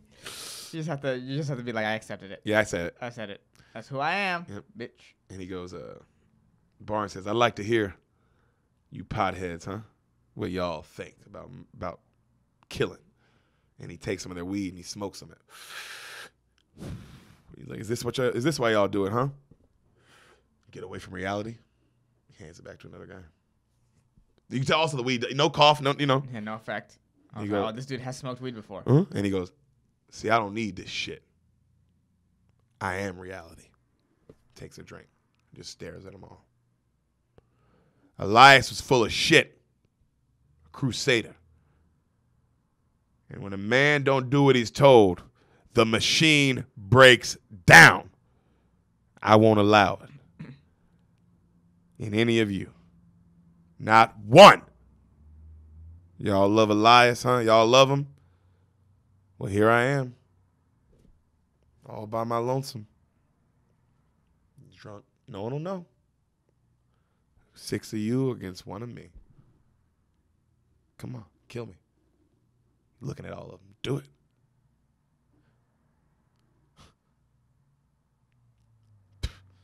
I shit on all of you. He walks out, and Chris goes, ah! And he gets up and he takes his head, bam, smashes it on a pole. Bam, bam, Barnes stops him, fucking poof, bam, easily beats the shit out of him, and then takes a knife and puts it right on his throat. And They go, Barnes, Barnes, Barnes, stop. Barnes, don't do it. Don't do it, Barnes.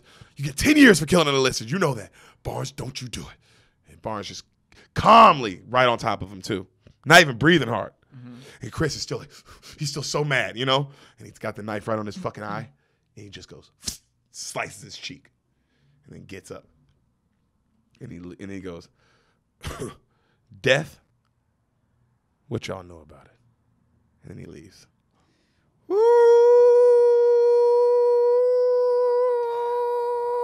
You see what I say when I meant the best actor though? I know Dafoe was acting. I ain't Dafoe. Hey, I, you know, I, bro, I love both y'all. You was acting, Will. You was acting, but Berenger deserved the Oscar. Period. Who beat him? Who I gotta see who him? beat both of them. Yeah, we gotta But, but between the 2 Mm-hmm. Berenger deserved it. I mean, I, thi- this acting is un. I'm so scared of this man. Yeah. Yeah. Uh, Jesus Christ. This is a scary fucking guy. Oh yeah. Back to the voiceover.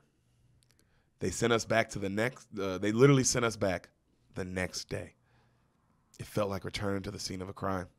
And then you see them flying back over the village they burned. Like they were Oh, right wow. back into it. You know. Um, they we were told we were going to be apparently be bait to lure out the entire regiment of the NVA, whatever, like whatever the Vietnam regiment they've been going out against this whole time. They have a plan. They're going to use their infantry as bait to lure them out Right. and that's why they're being sent.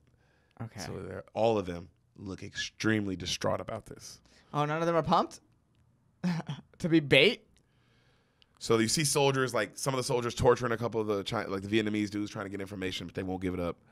And uh, apparently, because they're trying, apparently they find out they uh, the Vietnamese guys uh, uh, ambushed two battalions last night. Oh wow. So that's why they're trying to get information, okay. right? And that's why they're trying to use their bait because they think they're all close. So let's fucking get them all out, see if we can kill them all, Right. all right? So they make the Ram- Ramanucci guy, this other guy uh, who was in Elias's squad, the one who was telling him that Barnes don't die, the only person that can kill Barnes is Barnes. Like that guy, like let Right. it go. So they make him the, the next, the like Elias, Elias's replacement. Replacement. Okay. So now he's sergeant. You know what I mean? Of the of that crew. Right. Okay. And then he looks at the guy, uh, the Lieutenant Wolfe, who makes him, who gives him that job, and he goes, "Hey man, I didn't ask for this fucking job." Like you tell, he's like, "I don't want this shit." Right. Hell no. Right. And then Lieutenant Wolfe, you know, the bitch guy looks at him, and bro, this was good acting too. Completely distraught. He goes, "Look, man, I don't give a shit. I don't give a flying fuck anymore." And he leaves. He just walks off. Because the guy was complaining, like trying to complain to him, like, Right. "Hey, I don't want to do this with the whoop," and he was like, "Dude, Dude, I don't even hear cares? it." Fuck you. I had I got my own shit to deal with. You deal with your shit. Ah, son, you were- Ah, I agreed with him on that one. Yeah. That was one time I was like, "Hey, man, I don't, I'm not going back. Hey, Yeah. little Duval style. I ain't going back and forth with you, niggas. Yeah. I'm living my best life." Yeah. That's what that dude's trying to do. He's like, "Look, man, what do you mean you don't want to do this? I don't want to do this. yeah. Who wants to do this? Besides Barnes, who wants to be here? Yeah, I don't. Barnes doesn't want to be here. Barnes is just thriving here. He just thri- He just yeah. wins here. Yeah, yeah. This is this is his home court, which is Good terrifying point. for That's him. a good point. this is his home court. So, Chris and the King dude, the black guy, you know, the King guy, Mm-hmm. they're talking right, and King's like, "Man, how come you don't write as much anymore? You thought you used to write your grandma like. I, said, I noticed you stopped doing it." And then Sheen looks at him. He's like, "Man, there's nothing. There is nobody. None of this matters, right? He's smoking weed." King looks at him. He's like, "Give me that, man. You gotta stop smoking this shit. All you gotta do, remember, keep your pecker hard, keep your nose dry. World keeps turning. You know what I mean? Like, Right. just fucking, hey, relax." Yeah. And then he goes, man, Sheen goes, I just hate that people like Elias. I thought this was dope. People like Elias in this world always get wasted, and people like Barnes always live on. If that ain't the realest shit, if that ain't the realest shit ever, bro, That's that's the truth, isn't it? dude. He's like, man, this world is fucking shit. And he goes, hey. And then fucking King goes, all you got to do is make it out of here. That's it. You make it out of here, the rest of your life is gravy. After this shit, it's gravy. Just focus on that, right? Right. Right then, O'Neill comes up to King and tells him, "Hey, apparently you only have two days left on your thing. They ga- they gave you an extended leave. There's a chopper about to head back. Last chopper out. You're on it, King." He's like, "Are you fucking kidding me?" And O'Neill's jealous because he only has like a couple days left too, Right. and he didn't. He was like, "Nope, you're out of here, fucking lucky bastard." You know what I mean? And he looked. King's like, "Oh shit, I gotta go, brother." He's like, "I love to keep talking to you, but I can't miss my chopper." And they, Sheen's like really happy for him. They hug. Yeah. And he goes, "Remember, don't be a fool. You be smart out here. You be smart. All right. He's, a, he's ain't no such. He, he says ain't no such thing as a coward out here. Okay. Be smart. Okay. Ooh, that's a good line. Because it, like it is, but you but in the way he's saying it, you know what he means. Yeah, They're like, hey, bro, there's a coward, and then there's being smart. Right. You got you got to make the right decision. Make the right decision. Mhm. All right. Stay alive. Right. And he's fucking. He's like, and then Sheen's like, I gotta walk you out. Right. So they they start walking. Everyone's on his way. Everyone's like, bye, kid. You know, they're happy for him because he's like, obviously, he's like celebrating like a nigga getting out Yeah, of jail. yeah. Also, this is the day before this battle, so you're like, woo! Yeah. So, Junior, the junior guy, the other black guy, he's yelling about how the bottom of his feet are messed up. He can't walk. He can't walk, and he's showing him the bottom of his feet look all fucked up. Yeah. He can't walk. Right? He says, "I gotta go home. You gotta let me go home. You gotta put me on that chopper, please." Barnes is looking at him. Put your fucking boots on. What you mean, man? I can't walk. Next time you try to pull some shit like this and fuck up your own feet so you can get out of here, I'll fucking court martial your nigger ass myself. Junior goes, man, man, fuck you, fuck you, and just do it then. Hell, y'all got the last out of Junior. I'm not fucking doing shit for y'all no more. I'm over this world, man. I'm sick of this. Like you tell like breaking, I'm done. I'm done. And then Barnes goes, hey, hey, uh, to Johnny from Entourage, hey, go grab that red caterpillar. Those ones that bite. Let's put it in his shorts. Then we'll see if he can walk. All right, all right, all right. I'll fucking walk. I'll fucking oh, and he starts crying, and they just walk off like, "Yep, that's what we thought." Damn. This is hard. I'm not a big fan of war. I get why this movie is such a big deal. The they had, no one ever seen anything like this. This is re- this is like what? Yeah, this isn't even like yeah, a feel good war movie. No heroes. This no- ain't no uh, like remember that one movie we saw Hacksaw Ridge. It's an Yeah. awesome war movie. I mean, no bullshit. That's a phenomenal war movie. but it really is. war movie. It's a feel good war movie. This is a war movie. This is a movie about war. It's not about, you know, did we win? Oh, this guy, look at this hero. no heroes. Not even really a lot of villains. No. Just No. war. Just war. I mean, one guy sort of became a villain. Yeah. Yeah.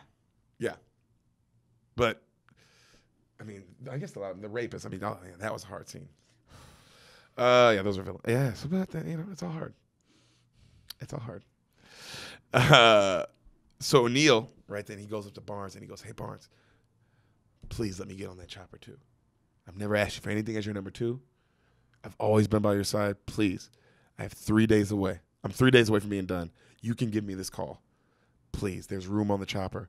I got a bad feeling about this one. I don't know why, Sarge. I've never had a bad feeling, but right now I got a bad feeling. I don't know. For some reason, I feel like I'm not gonna make it out. I, do you understand? I feel like I'm gonna die. Please, Captain. Please. I never asked you for anything. Barnes looks at him. Everyone has to die sometime, O'Neill. Move out. Barnes. O'Neill's just. That would hurt the most because, like, damn, bro, why was, why was I even loyal to this guy? Yeah. He's not even my fucking friend. No. No. Should have placed my eggs in a different basket. In the Elias basket, the guy who would have totally been like, oh, dude, get the fuck on that chopper. Yeah. Definitely get on that chopper. Get out of here. Fuck it. This is none of this matters. No. Yeah. So we see the king dude. He gets on the chopper. Chris is waving at him, and he's like, "Woo! Goodbye, motherfuckers! Yeah!" Chopper flies off into the sunset. King gets away. Good for King. Good for King. You survived. You made it through the worst gauntlet of all time. without a scratch too. Yeah. Not crazy. hurt. Crazy. Crazy. Like actually, like Sam was like, "Oh my god, most of these guys are gonna have PTSD." Like, yeah, oh yeah, most of those, most everybody from him had PTSD. He had a pretty good outlook on it because even his last talk to Sheen, he had a pretty good outlook. And then for him to be able to go Yeah. with that outlook already, he actually might be able to get through it. Yeah. Whereas guys like the Forest Whitaker guy or Oh. Johnny Depp, Uh, like the wounded ones, I don't even know. Yeah, back and the si- you go back home and the system don't care for you. yeah, that, that those ones, it's Oh, like, man, I, I don't know. So, cut to we see uh the Vietnam guys late at night. They're gearing up and they're setting their booby traps. So many of them, bro. So many of them. And as they're running and they're doing a bunch of shit, they set off a trip flare. Shootout starts. That's what I liked about the the fight scenes in this. You know, a lot of fight scenes in movies, you're like, oh, and fight scene. Right. This is like fight scene. Oh shit! It's on. It's on top of me. Yeah. Yeah. Because it's like, but then again, like you tell I was like, oh, that's how war it- works. Yeah, that's probably what. Say, it oh, it's not actually some like. build up. Well, I uh, gave you it on the first. He gave you it on the first one with the bugs, Right. but the rest of these have just sprung Well, on well, you. especially this one because this was all guerrilla warfare, right? Where Oh, whereas, yeah, yeah, like yeah. the World War II and all those movies, there's build up because they're all going to a certain place and all gonna get there. We're gonna meet time. up. Yeah. Yeah. This one, it's like we're here and they're here, but I don't know where they are. Yeah. Everyone's sort of all around. Yeah. Scary. So the shootout starts at night. The new Elias, that guy, you know, Ramucci, he tells Chris, like, hey, you know, he tells him and another guy, Manny, don't come out of your holes. You guys are gonna fucking stay here and don't let anything get behind you. They're gonna try to get through. Don't let a fucking single one of them get behind you. Let's go. Mm-hmm. Right? So he runs off. So they're holding their ground. They see one of their own running at them. Don't shoot! Don't shoot! And he fucking dives in their thing, right? Mm-hmm. And he tells them, like, hey, there are a hundred coming this way. They fucking killed a bunch of our guys already. We gotta run. We gotta get the fuck out of here. Fuck this. And they're like, no, they told us to hold this. Stay here. Fuck this. Let's go. He takes off. Right. The black guy now looks at Chris and he's like, man, fuck this shit. Let's go. And he's about to take off running. And Chris goes, just go. I'm staying. And he fucking keeps shooting out the bunker, right? And the black guy looks at him and he's like, ah! And he fucking joins him. I lo- he's like, I can't, Love you it. know what I mean? can't I'm like, my brother behind. I, and yo, he how bad does he want to? Yeah. Cause that that like oh, cause that's just like the. I'm also mad at you that you're Yeah. making me do this. Yeah, but But you- God damn it. you've chosen, and I've chosen to be on your side on this. I'll die with you, Yeah. even though I had a chance to not die, maybe. Yeah. But this kind of goes against what that King guy said, right? Huh? No, there's nothing. You know what I mean? It's like yo. You Oh, this does go against what King Guy said a little Yeah, bit. yeah. You didn't take that to heart. Yep. Mm-hmm. So they out of nowhere they start hearing this whistle, and then they hear a, a Vietnamese dude on the loudspeaker, you know, and then Sheen's looking and he sees something kind of loading up, and he's like, "Get out of the hole, go, go! They're gonna blow it! Come on!" He fucking drags the black guy out, and they fucking dive. Their hole gets blown up, right? So right then, as men come up to check on it, like to see if they got him, Chris runs back out and he's like, "You motherfuckers!" Ah, and he kills like six of them. He runs up on one, smashes his skull, and his black dude, the black partner of his, is watching. And finally, he's like, "Ah!" And he comes out and he joins. And now they're both just fucking. "Ah!" Ah! And then, bro, as they're shooting, Chris yells, "It's fucking beautiful!" as he's crying. Crazy thing to get him to say, Oliver Stone. Oh wow. Or he said, and you just were like, yep, Yeah. I like that energy. Yeah. Oh wow. That was that was the kind of shit people were saying. oh wow. So, uh, as Johnny and the junior dude, they're fighting together, right? Right. The junior dude fucking says, "Fuck this," and he leaves him. He takes off, Mm-hmm. and then Johnny's like, "You gutless shit!" And as he's junior's running, he's like running, looking behind him, like, huh, huh, bam, and smack that into a tree, knocks himself out. Oof. All right.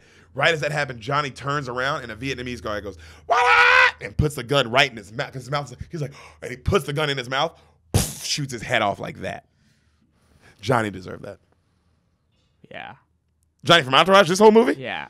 he's been the worst. Okay. He's just been. Yeah, he has been. He's Yeah. Been, yeah. But so you not remember everything he's done? Yeah. I thought you for a second. You were like, I was like, you said Johnny. I was like Johnny Depp, and then I'd be like, oh shit, Johnny. No, Johnny, Depp. Johnny Depp's already in, remember? Yeah, yeah, He got taken away. yeah, no, he got uh, taken no, I'm sorry. Uh, I just say, That's Johnny why I from was, Entourage. That's why I was really confused. I was no, like, Johnny from. Entourage gets blown in the mouth. Okay. Okay. Yeah, he deserves it. Yeah. Yeah. I wonder why. Oh God, O'Neill.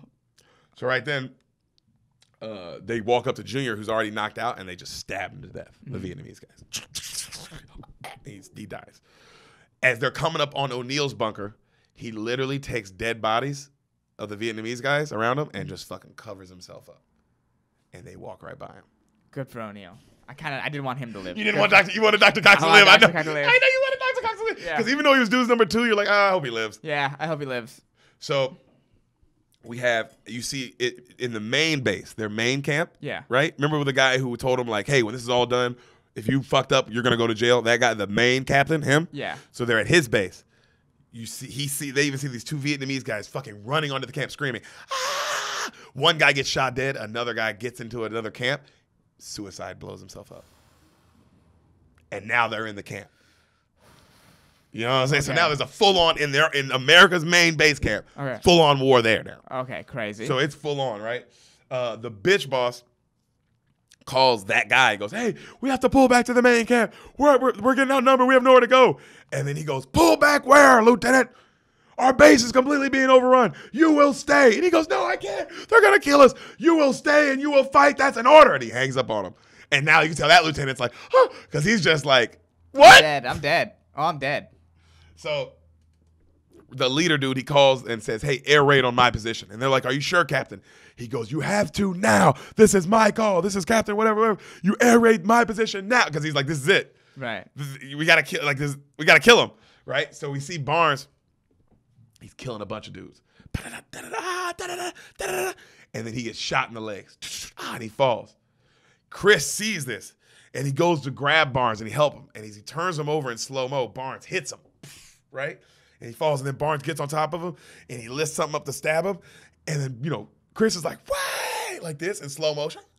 And Barnes sees him and he still starts coming down anyway. And then right then, the air raid that he called, you hear, and just that fire, like of the whole tree line. It all goes to black.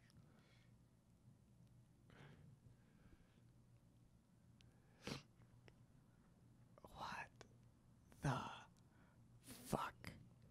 The next morning, Jesus Christ. it's early in the morning, you hear birds. It's bright. Chris wakes up. He's all fucked up. His body's kind of burnt and shit. He looks over, he sees a deer literally right next to him, just eating, looking at him. He pulls himself up and he starts kind of limp walking. Dead bodies everywhere. And then you see his eyes, he sees something. And he locks in. He keeps walking.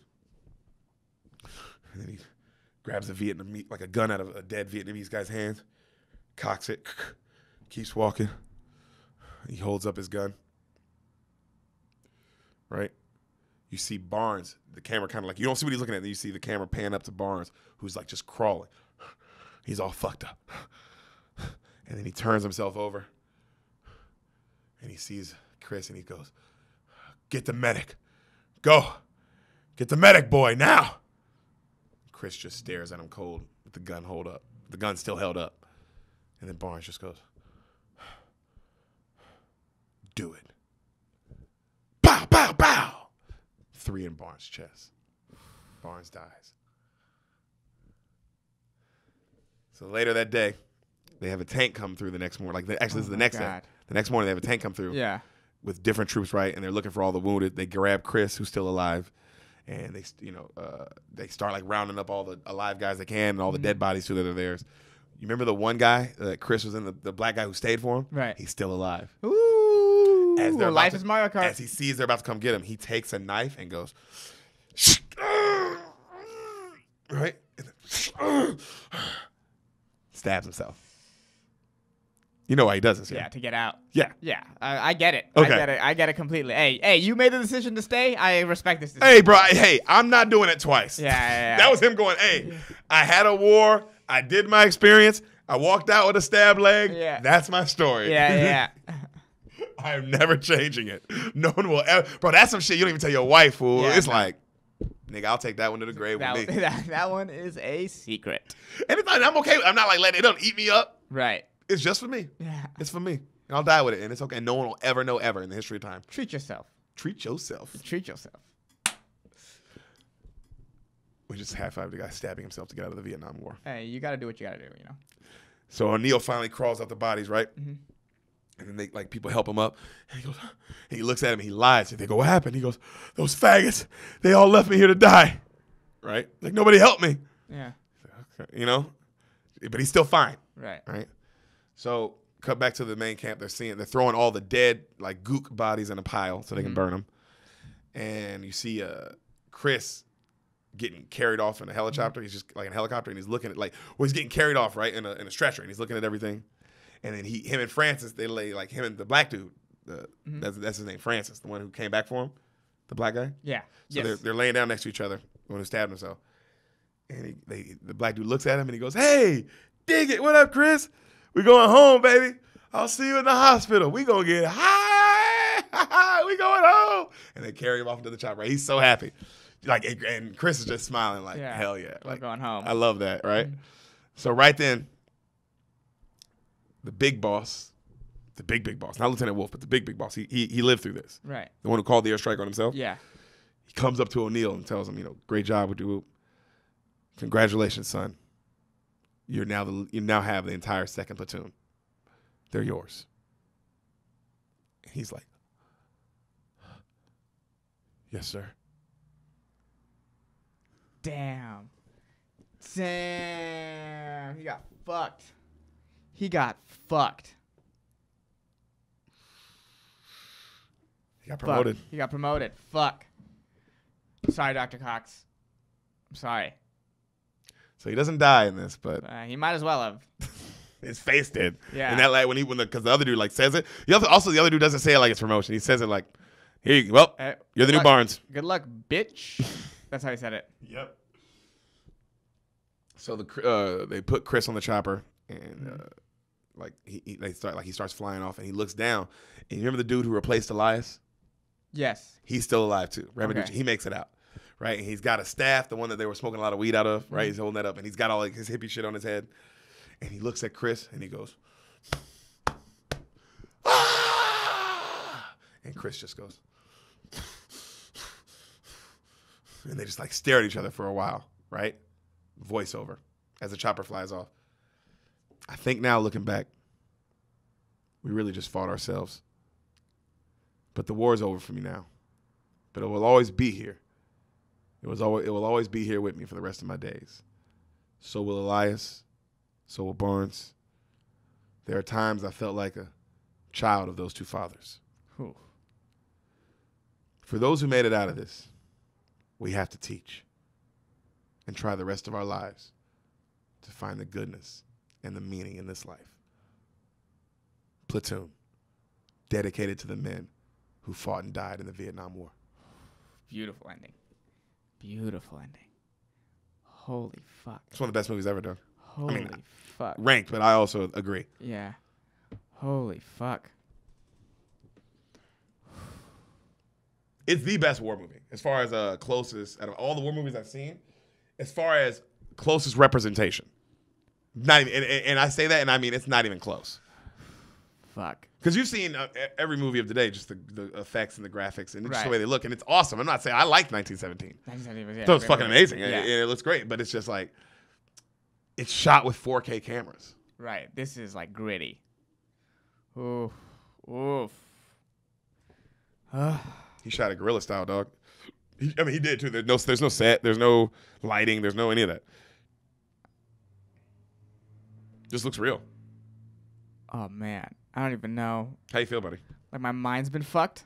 What'd you think of the movie? Like what it was about? I thought it was a good. I thought it was Like the storyline. Take the war- take the war and the fighting. the one platoon, just the politics and the, all that, and the different character, uh, the different sort of character traits they all had. I thought it was really well done. Yeah. After the writing was incredible. There's some lines that are, I had goosebumps the last lines, and I didn't see it. Who's your favorite? I mean, I liked Elias. Obviously, I like Dr. Cox. Dr. Cox is great. I like Dr. As Cox. a number, he's a crazy. It's an interesting play on a number 2 those are those are my two favorites. How do you feel about Barnes? And then Barnes just Barnes, I liked, and I ended up hating him. when he shoots Elias. You hate Yeah, it. Oh I man, hate I mean, it, it turns visceral. Yeah, that's like a intense hate, probably. Which is weird because it, even he kills a Vietnamese woman, innocent Vietnamese woman. and- Yeah, and, I but- hate him. I hate him, but I you, you the, Elias is there, so you do feel like there's a form of justice there. the form of justice and like and like uh there is that fucked up thought of like okay i can sort of get how under in under war your brain can get to that place and i mean i guess what that's what the elias murder is like under war your brain get the place get to that place too but like yo that was your like own teammate That was your brother. yeah that was not about the war that was about No, that was your protecting ass. your ass. Yeah. That's why. That's why it's weak. yeah That's why it's weak. this is, yeah Because Elias didn't fucking kill you like he could have. No. By the way, he could have easily killed you, bro. He said, "I'm gonna fucking do the right thing. I'm gonna turn you in." right Because that's what the right thing. That's what you do to your brother. I'm not gonna fucking kill you. I'm gonna turn you in. I'm not gonna shoot you in your back. yeah You know what I mean? but oh man what a what a But you knew Barnes was on his way to kill him when he told everybody else to go. yeah absolutely absolutely That's why Chris didn't want to go. He knew. yeah He knew. something was up He was like, why would he want no one to go get him but himself? He wants to kill him. Save his ass. That's the, such a weak move from a strong man. Very strong man though. Very weak move. Well, Amazing movie. I love this movie. I have some time to watch it. Shout out to all our vets who listen to this. We fucking Shout love out. you guys, man. Yeah. Really. And shout out to all the Asian people. Dude, all our Asian gookie gooks Yeah. that listen to this podcast, a gookie gookie gookie. I love you too, you little gook face. All right. Well, you know. Ding dong, bing bong. Okay. Okay. Well, I guess if you dig the hole so far deep, you can't get canceled. all right. See you guys soon.